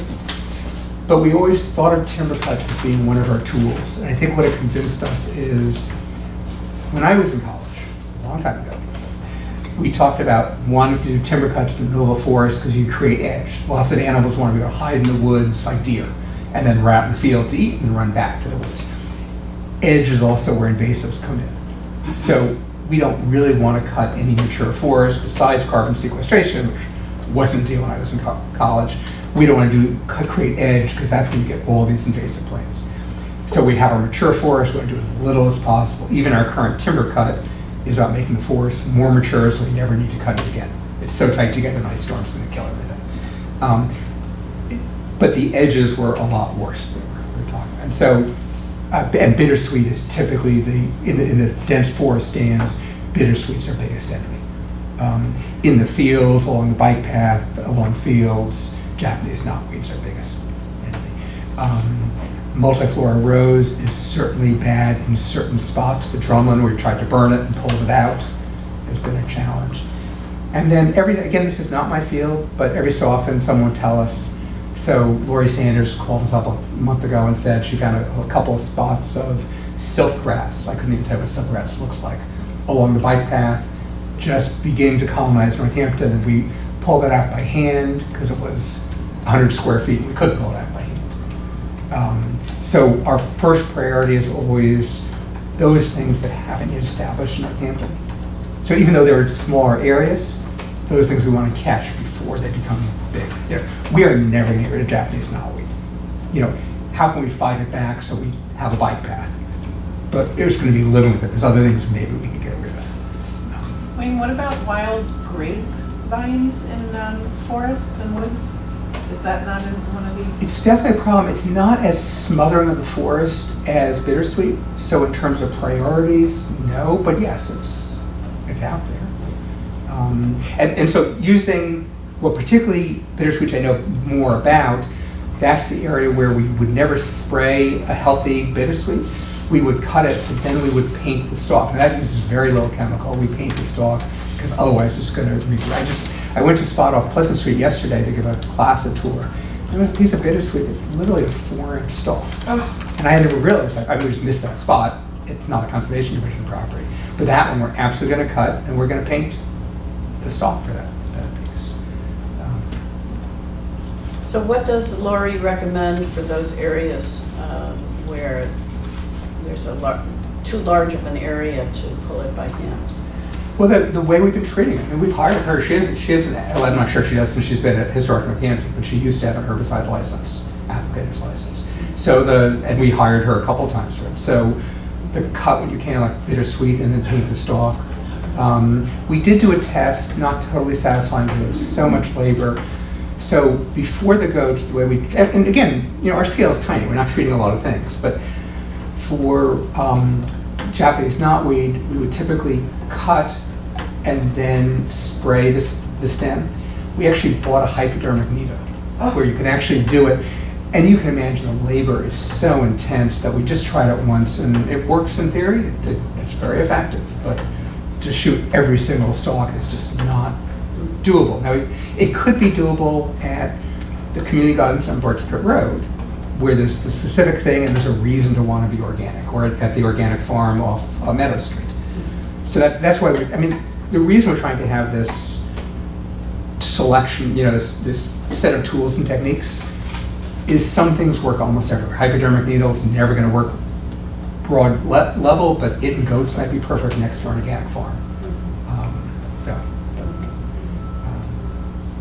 And then the other thing we haven't really been successful about is obviously, you know, to extent we can do plantings that outcompete, we'd like to do that. It hasn't been great. We did a project with Nature Conservancy on Elwell Island, where they're planting, they've done the work of planting elms, Dutch, you know, a, a, a resistant elm tree. And we've been trying to sort of, how can we pull down the bittersweet before it kills it, you know, so the trees get established. And then once it's established, we think it's self-perpetuating. Um, And there are a lot of things that are self-perpetuating, but they're, at least the only ones we've seen are maturest forest, and that's an entire lifetime to get to that stage. Can you tell us a little bit more about the trial with the goats? I know you and I have talked Yeah. about it, but I think it's useful for this. So I can tell you the trial, I will say, I think what we've concluded so far is it is not reproducible in any commercially viable stage.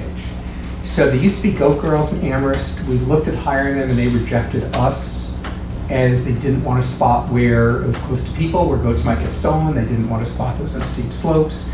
They went out of business. Their model still didn't work for them. They gave the goats to Smith Oak. Smith Oak turned us down for the same sites. Then there's a, a woman who approached us this year who said she has two pet goats and she's interested in expanding and wants to explore this as a business opportunity. And um, she's a writer. And so she has her goats out there and she sits in her computer. She watches them. She's not leaving so she's willing to do steep sites, willing to do things with people. And when she's bored writing, she gets up and pulls the Japanese knotweed by hand. And so she did the first quarter acre for free. We're doing, and that was for Japanese knotweed along the bike path and the steep slope. She's doing another uh, quarter acre for us for $500 now um, off Linseed Road and some, some land that we'd like to convince the budding farmer to take over. And that's why we don't want to use chemicals. We want the farmer to take it over. It's a great model, and, I, and we're, we're applying to CPA this year for $10,000 to scale up the model a little bit. But I don't think it's a profitable model. You know, $500 for three weeks worth of work where you're out there full time is great for someone who's a writer and likes being outdoors, and it's some money.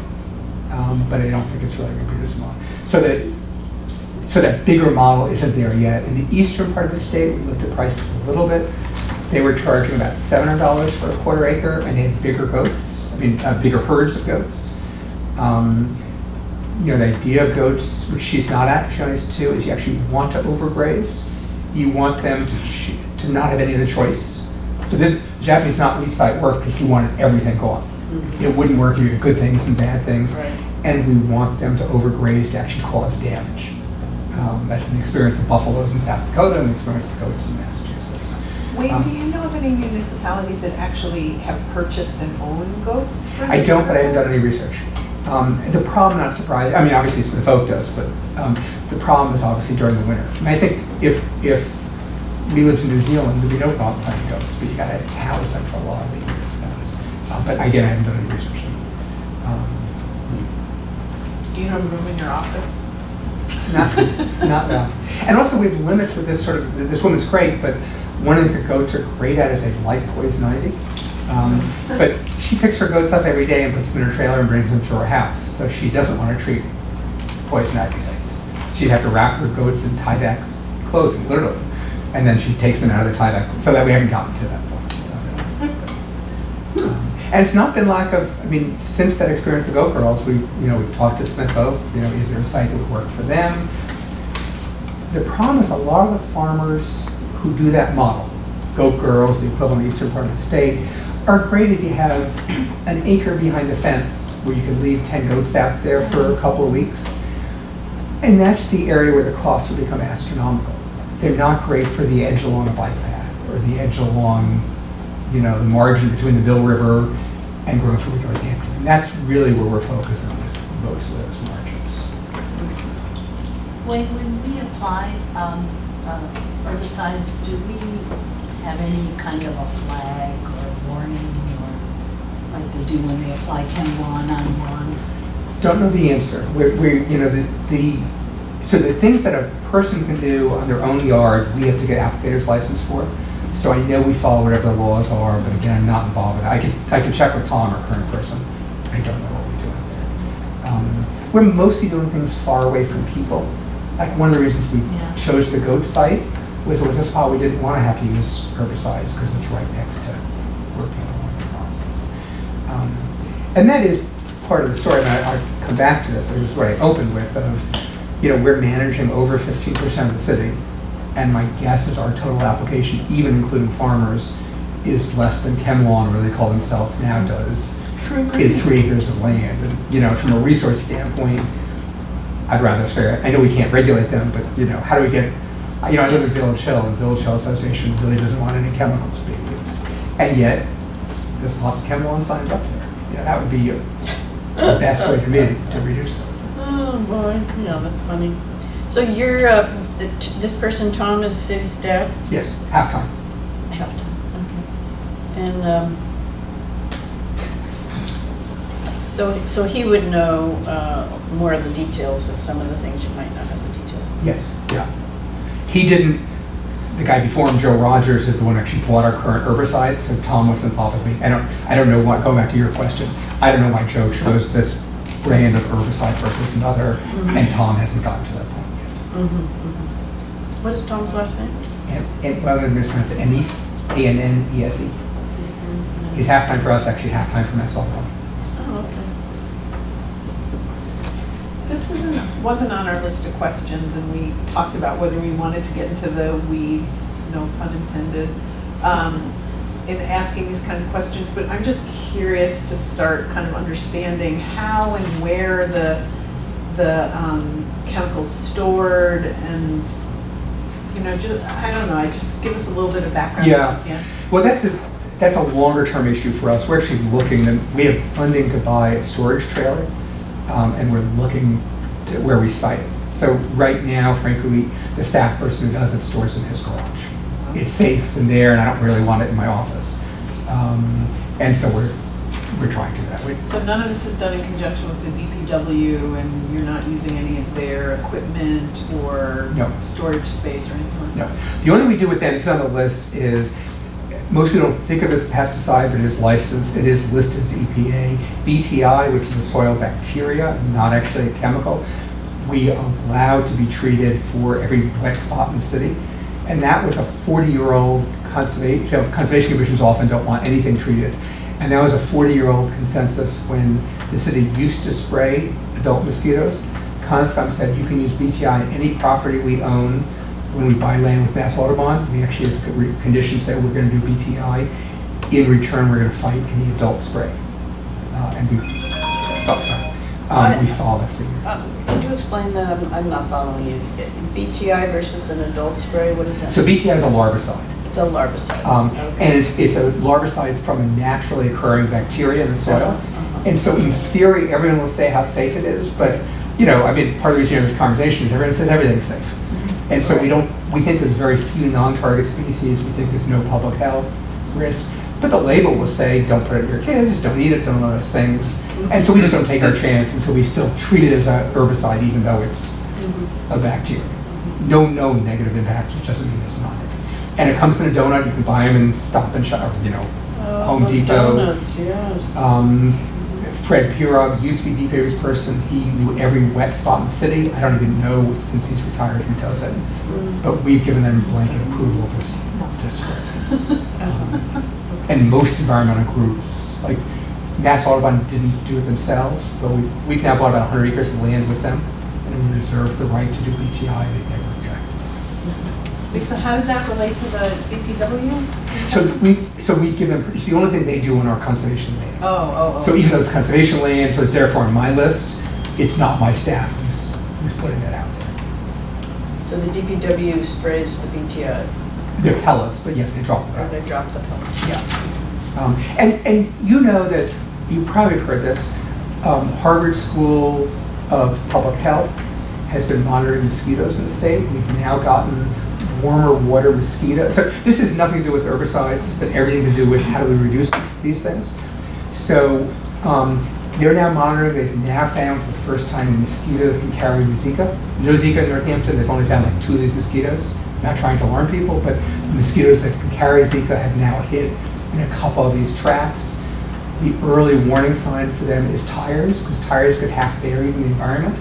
Um, and then they have warmer water, so mosquitoes can live through the winter. So part of the answer of reducing herbicides for us is tires. I, if you asked me five years ago, I'd say they're ugly. We should get rid of them have time, but they're actually, you know, sterile. Health hazards. We now consider them a health hazard, and we think getting rid of them reduces the pressure for using adult insecticide. So I think things like that have to be part of the story. How do we manage this? DPW's biggest application of BTI is actually in um, uh, uh, catch basins around the city. Because the catch bases are in theory, and, and when equ- equine cephalitis got out, they started treating, they, they went to one. Triple E. Triple, thank you. They started doing what with this? Dropping BTI, Dropping do a better BTI. job in catch basins. Okay. Um, And then uh, it's the health department that governs the spraying for adult mosquitoes, is that not true? I think so. But from public roads, I think it also need permission from the landowner if they're on private property. So So that, that's, the- that's the the genesis 40 years ago of saying we're allowed BTI, but we're fighting adult executive. Now, obviously, if Zika came here, everything could change in terms of the rules are. What is Zika? It's that horrible bite that creates uh, swollen head. Encephalitis and babies and. Fetal abnormalities, Yeah. extreme. It's been around for years and suddenly hit the news for some reason five years ago, and I'm not sure why.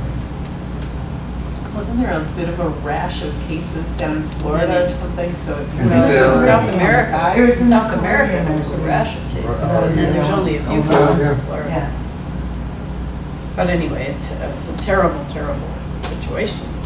So Okay. do we do any, on your side of the city properties, do we do any spraying for adults? Yeah. And do you- we know if the DPW does any spraying for adults? Not as far as I know, but I'm not. Okay. When you said catch basin, are you, you referring to the CSO sites, the combined sewer overflow? No, they're, they're just stormwater. They're they're not CSOs, but they're basically, you know, whenever you see a grate in the street, Yeah. that's a catch basin. Oh, okay. But it's not, it's not sanitary, CSO would involve sanitary sewage as well. Oh, okay. So they're just stormwater. We don't have Okay, any, Hopefully there's no, right. The, the only CSO, the only Gotcha. combined are a couple ones we miss, every so often we find something. But 30 years ago, the city got rid of all the ones they do, and then once in a couple of years, we find one we miss. So, okay.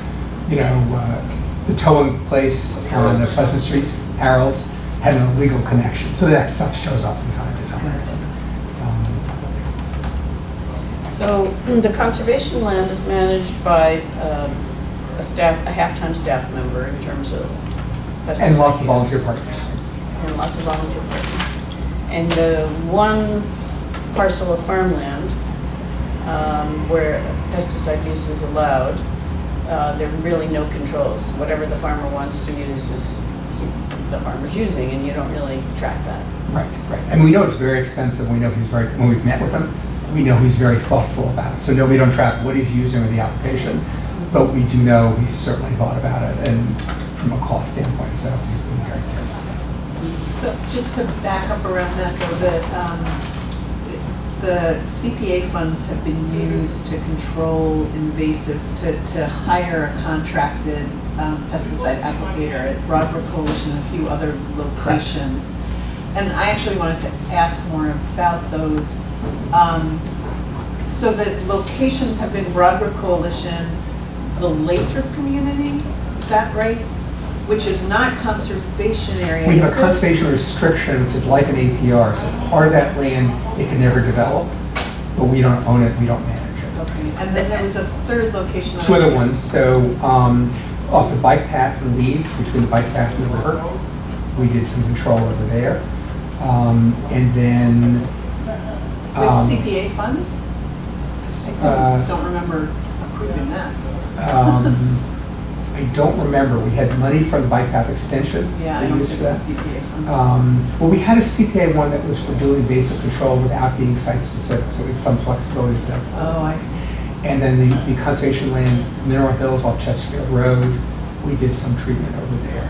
So um, we hired Laurie Sanders for both of those initially, uh, and then we did a follow, which I think was from CPA, we did a follow-up on the bike path with, what used to be Chris Polatin, he has now a different name for his business. Yeah. Um, We did a That's follow-up. what with him. Broadbrook used to use, too, Right. or does use. Right.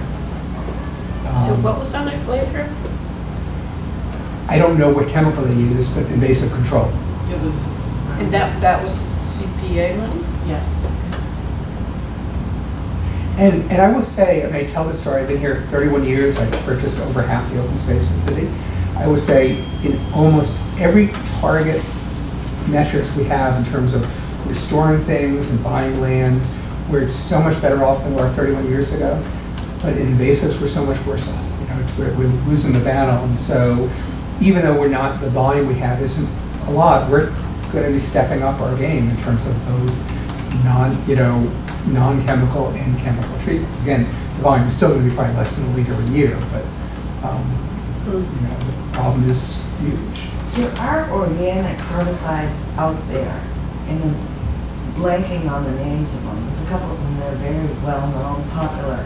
And I'm wondering if you've ever considered any of those. We've looked at them, you know, looked at, and again, I'm not the one who's done the research, so I couldn't tell you by name either, but none of them have been satisfying as being really successful in the process. It's, it's that, you know, it's different in your back, I, this is part, I personally understand the chemical and stuff. It's different in your backyard, we have a few weeds coming between your asphalt. You know, the volume of land that we manage, yeah. Uh. So none seem like they've been satisfying for. Um, So, um, so you're expecting that this is going to be a, continue to be a bigger and bigger problem? Yeah, I mean, again, our, our top priority is how do we catch, I mean, you know, maybe the biggest argument to make for how do we reduce herbicides, it's to, to be more aggressive and catch things early. And even, I mean, some of that is mechanical and some of that's goats, they are gonna fit part of it. But even when we're using chemicals, I'd rather use chemicals on half acre of land and let it go wild. Um, And also, I, I mean, using forestry as an example, because we're in the business of carbon sequestration, business of natural systems, we're not doing commercial timber cuts. We're only doing it when it's habitat improvement. But, you know, we all have homes made of wood and people are importing wood, and so we do believe in working landscapes. And we will often buy a conservation restriction on private land, and we're fine with people cutting that property, and that's almost, you know, that invites invasives, mm-hmm. which is good overall. At least we control it better here than someone who's logging somewhere else. But.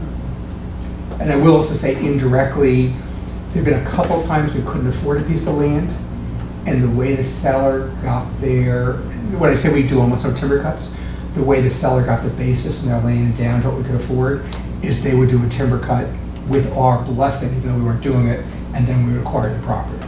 And we'd work with them, say this is the last timber cut ever. But, so the one on South of Chesterfield Road was like that. Um, So, so there are other timber cuts that were indirectly involved. Uh, And we are looking at one other um, uh, significant timber cut to restore, the, a pine barrens that we own. And we're going to do a timber cut there to restore the pine barrens. Uh, The So, red pine, the ones that are, that have been kind of felled by that invasive insect? this is the old gravel pit off of Burts Pit Road. Oh, Um, And it was traditionally a fire ecology. And fire ecology, don't have a lot of young plants growing. And so we're working with Natural Heritage and still doing an assessment of what do we do to restore that. There's one up in Montague Plains, there's one in Montague that's sort of a similar type thing. Very controversial uh, timber cut 20 years ago, now people are happy to restore its function. But it- it'll be the same thing, when we cut the timber, we know there to be some invasive challenges. we can do.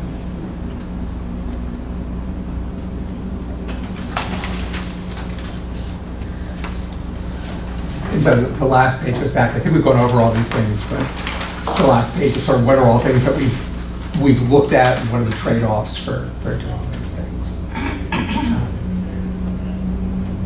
actually, Wayne, as long as you're here, and we have a few more minutes, do we, do we have a few more minutes in terms of other Well, things on our agenda? we're, uh, we, we don't have other things on our agenda. We have taken way more of Wayne's time Oh, than we had, than, than he had bargained for and that we had asked for. Um, But if he's willing to stay and you have another question, go for it. I just, we also have the policies. Just want to make some Oh, that's right. those policies. Okay, okay, So, all right. So a really quick question for you. Um, Could you give this committee a, a really quick overview about how um, pesticide reduction fits into the resilience plan that you're working on right now? Yeah, I mean, so I, I think for us, you know, we want to do as much as we can for carbon sequestration. Um, and I think carbon sequestration is the key. And so if using an inorganic chemical lets us be more successful carbon sequestration, that's a good thing. So that's the, when I talk about the no-till, for example. You know, if we can get, you know, reducing erosion from farmland is a good thing, even if that means using some chemicals. Um, getting mature trees that are less likely to be challenged by bittersweet is a good thing. Um, And so that's, that's sort of been, that's our, our top goal there. But in terms of recommendations in the plan, are there actual statements that call for um, examination or goal of pesticide um, use reduction in the city? Um, I don't remember frankly, because we just sort of, we've switched it from the consultant who put this together based on public forums, and now we're looking at comments and updating it. There is in the sustainability plan, the 11-year-old plan for doing it. Yeah. I think this general, yes, actually I do remember this. Yes, the general language, but it's in that context the broader thing. You know, How to use chemicals in a way that makes soils healthier and stores. Yeah, yeah, thank you. Thank you for being so generous with your time and information. No problem. I will just, when I email this, so it's complete, like, that purple loosestrife thing I remember as I went along, I'm going to amend this just to add the one box, the purple loosestrife. will not be on there, so. Thank Great, you. okay, Thanks very much. Thanks. Appreciate it. Thanks, Wayne. Thank you. Thank you so much.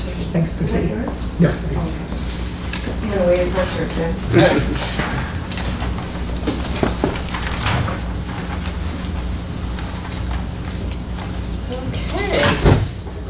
Um, I think uh, one of the things that we're learning is that um, uh, we may need more time with each department than we're allotting, but that was very uh, informative.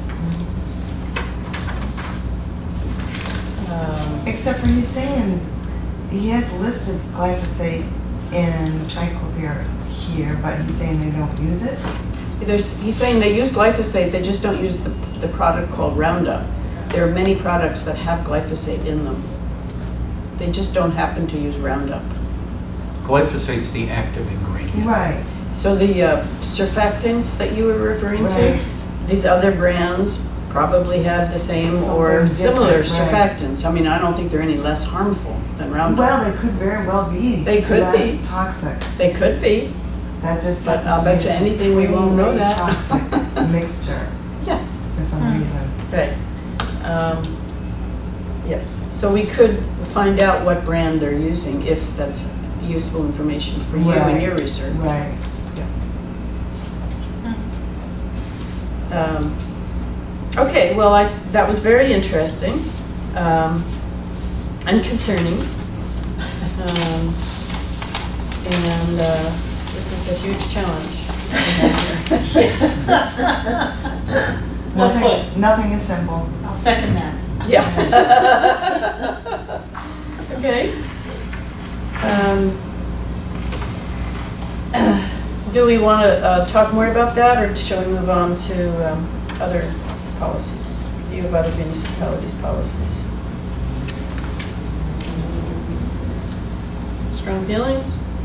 I mean, I, I just, I could give a one sentence for the municipal policies. Okay. we Spend a little more time. Um, I think you'll see, those are extremes. Andover is a whereas, whereas, whereas chemicals are not so great, you know, and it's sort of a, sort of a soft approach. It's the more recent. The gold standard, from what I understand, is the Marblehead one, where they're actually applying fines and enforcement whereas Andover isn't really going in that direction. Mhm. So, um, in the interest of time, you know, the Marlboro one is still the one that people are holding up. I, I can't imagine how they're enforcing that, but, and if they are, you it's there, and they're both Board of Health policies. So, um, hopefully we'll get some more. Is Marblehead a, it's a ban in private homes too, that the health department? It seems like Because there's, No. state preemption laws, it's just for municipal Yeah. use. It's, it's public education for privately owned Yeah. land, but it's um, So I'm prohibition for confused about the city. fines piece of it.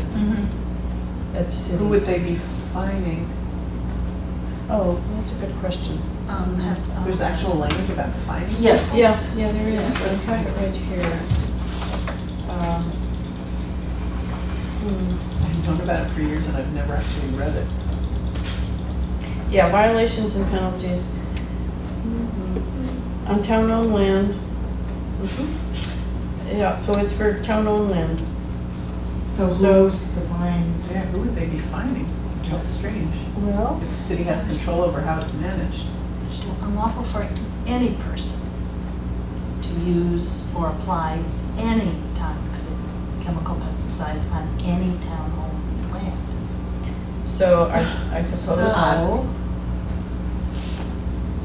So um, I suppose if a farmer, you know, was renting farmland from the town and Yeah. sprayed, that would be one. Yeah. Uh, Another might be a, a city employee who's kind of not aware.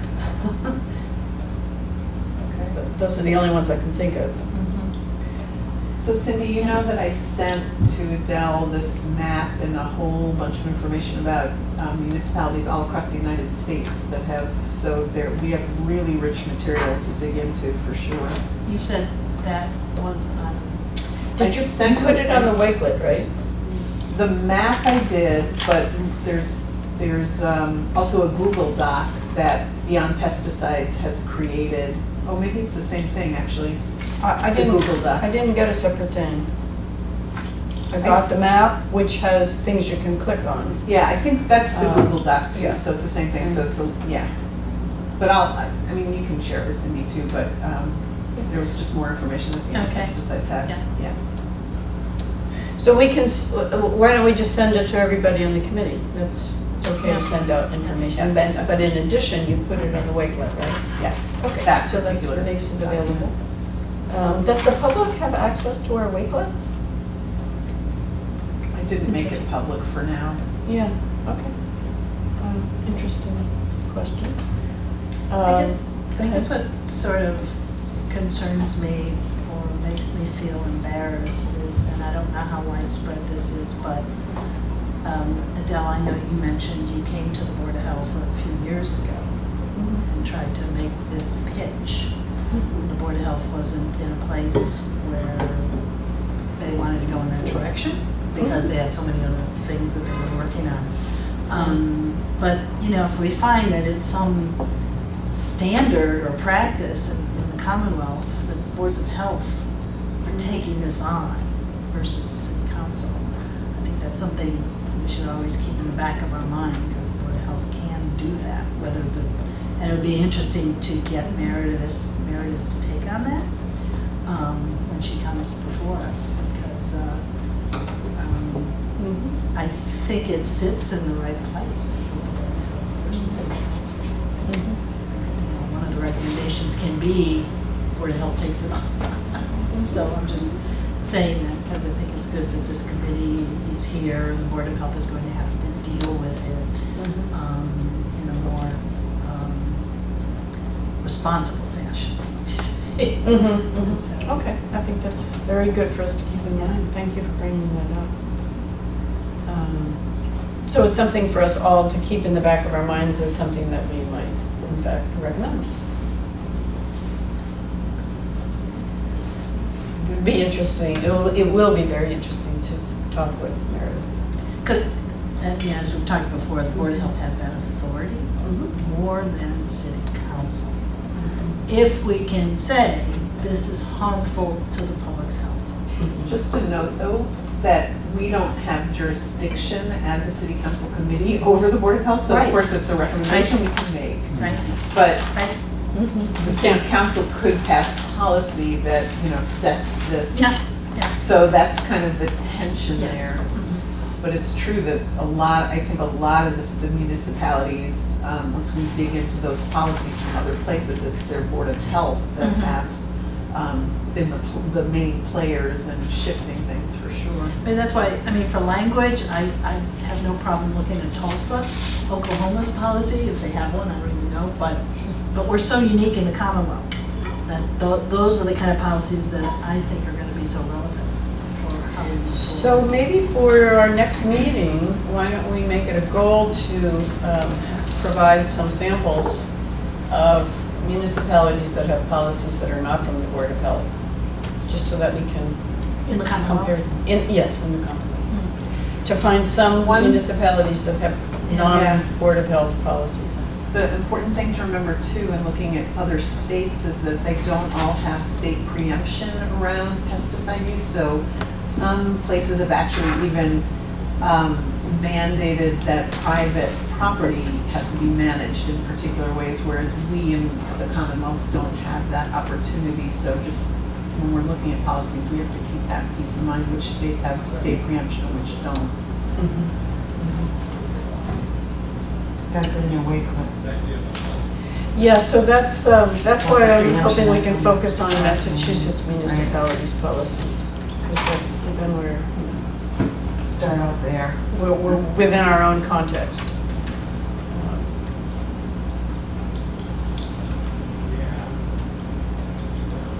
It is now noon. Um, Does anybody have any, anything else quick, quickly that we should address before we adjourn? I have just one thing I want to say about Wayne's remarks. I found it interesting, um, two things. First, that identifying the problem earlier, you know, like, oh, but there was that stilt grass, I think it was, you know, that, then you can mechan, you know, you could go in and just pull it by hand. So that, um, just being more aware of where the invasives are, Yeah. you avoids any pesticide and, further expenses down the road. The other thing is that the, the geometry, that how it has to do with the, where the invasives are problem, problematic. It- That, we're not talking a big field of, you know, it's the edges, it was in the triangle, it's along the bike path, that the, the, the the boundaries and the, um, and, and the places where two different environments are meeting up mm-hmm. are where the problems are. Right. And we go from river to mm-hmm. floodplain to hills to forest. We have farmlands all, so we're gonna have edges all over the place. Mm-hmm. And that probably really complicates things. So, um, Right. it's kind of, we're, we're probably a model for, for the perfect place for invasives. Right.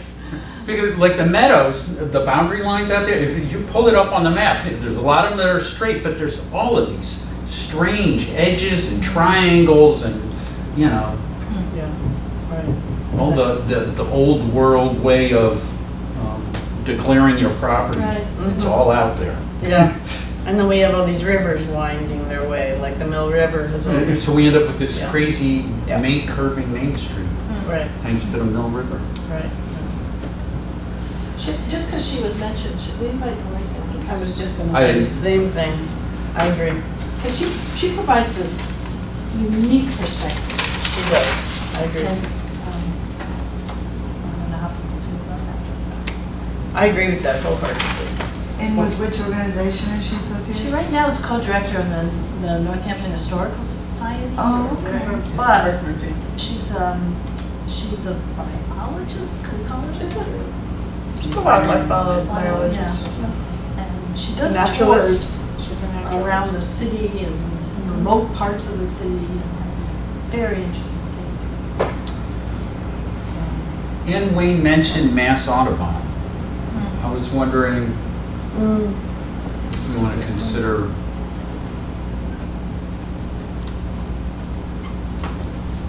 Does anyone have a contact there? I can I find. do, but it's this guy, Tom, who works for the city too, Yeah. and I think that would be too complicated in terms of his two hats. Right.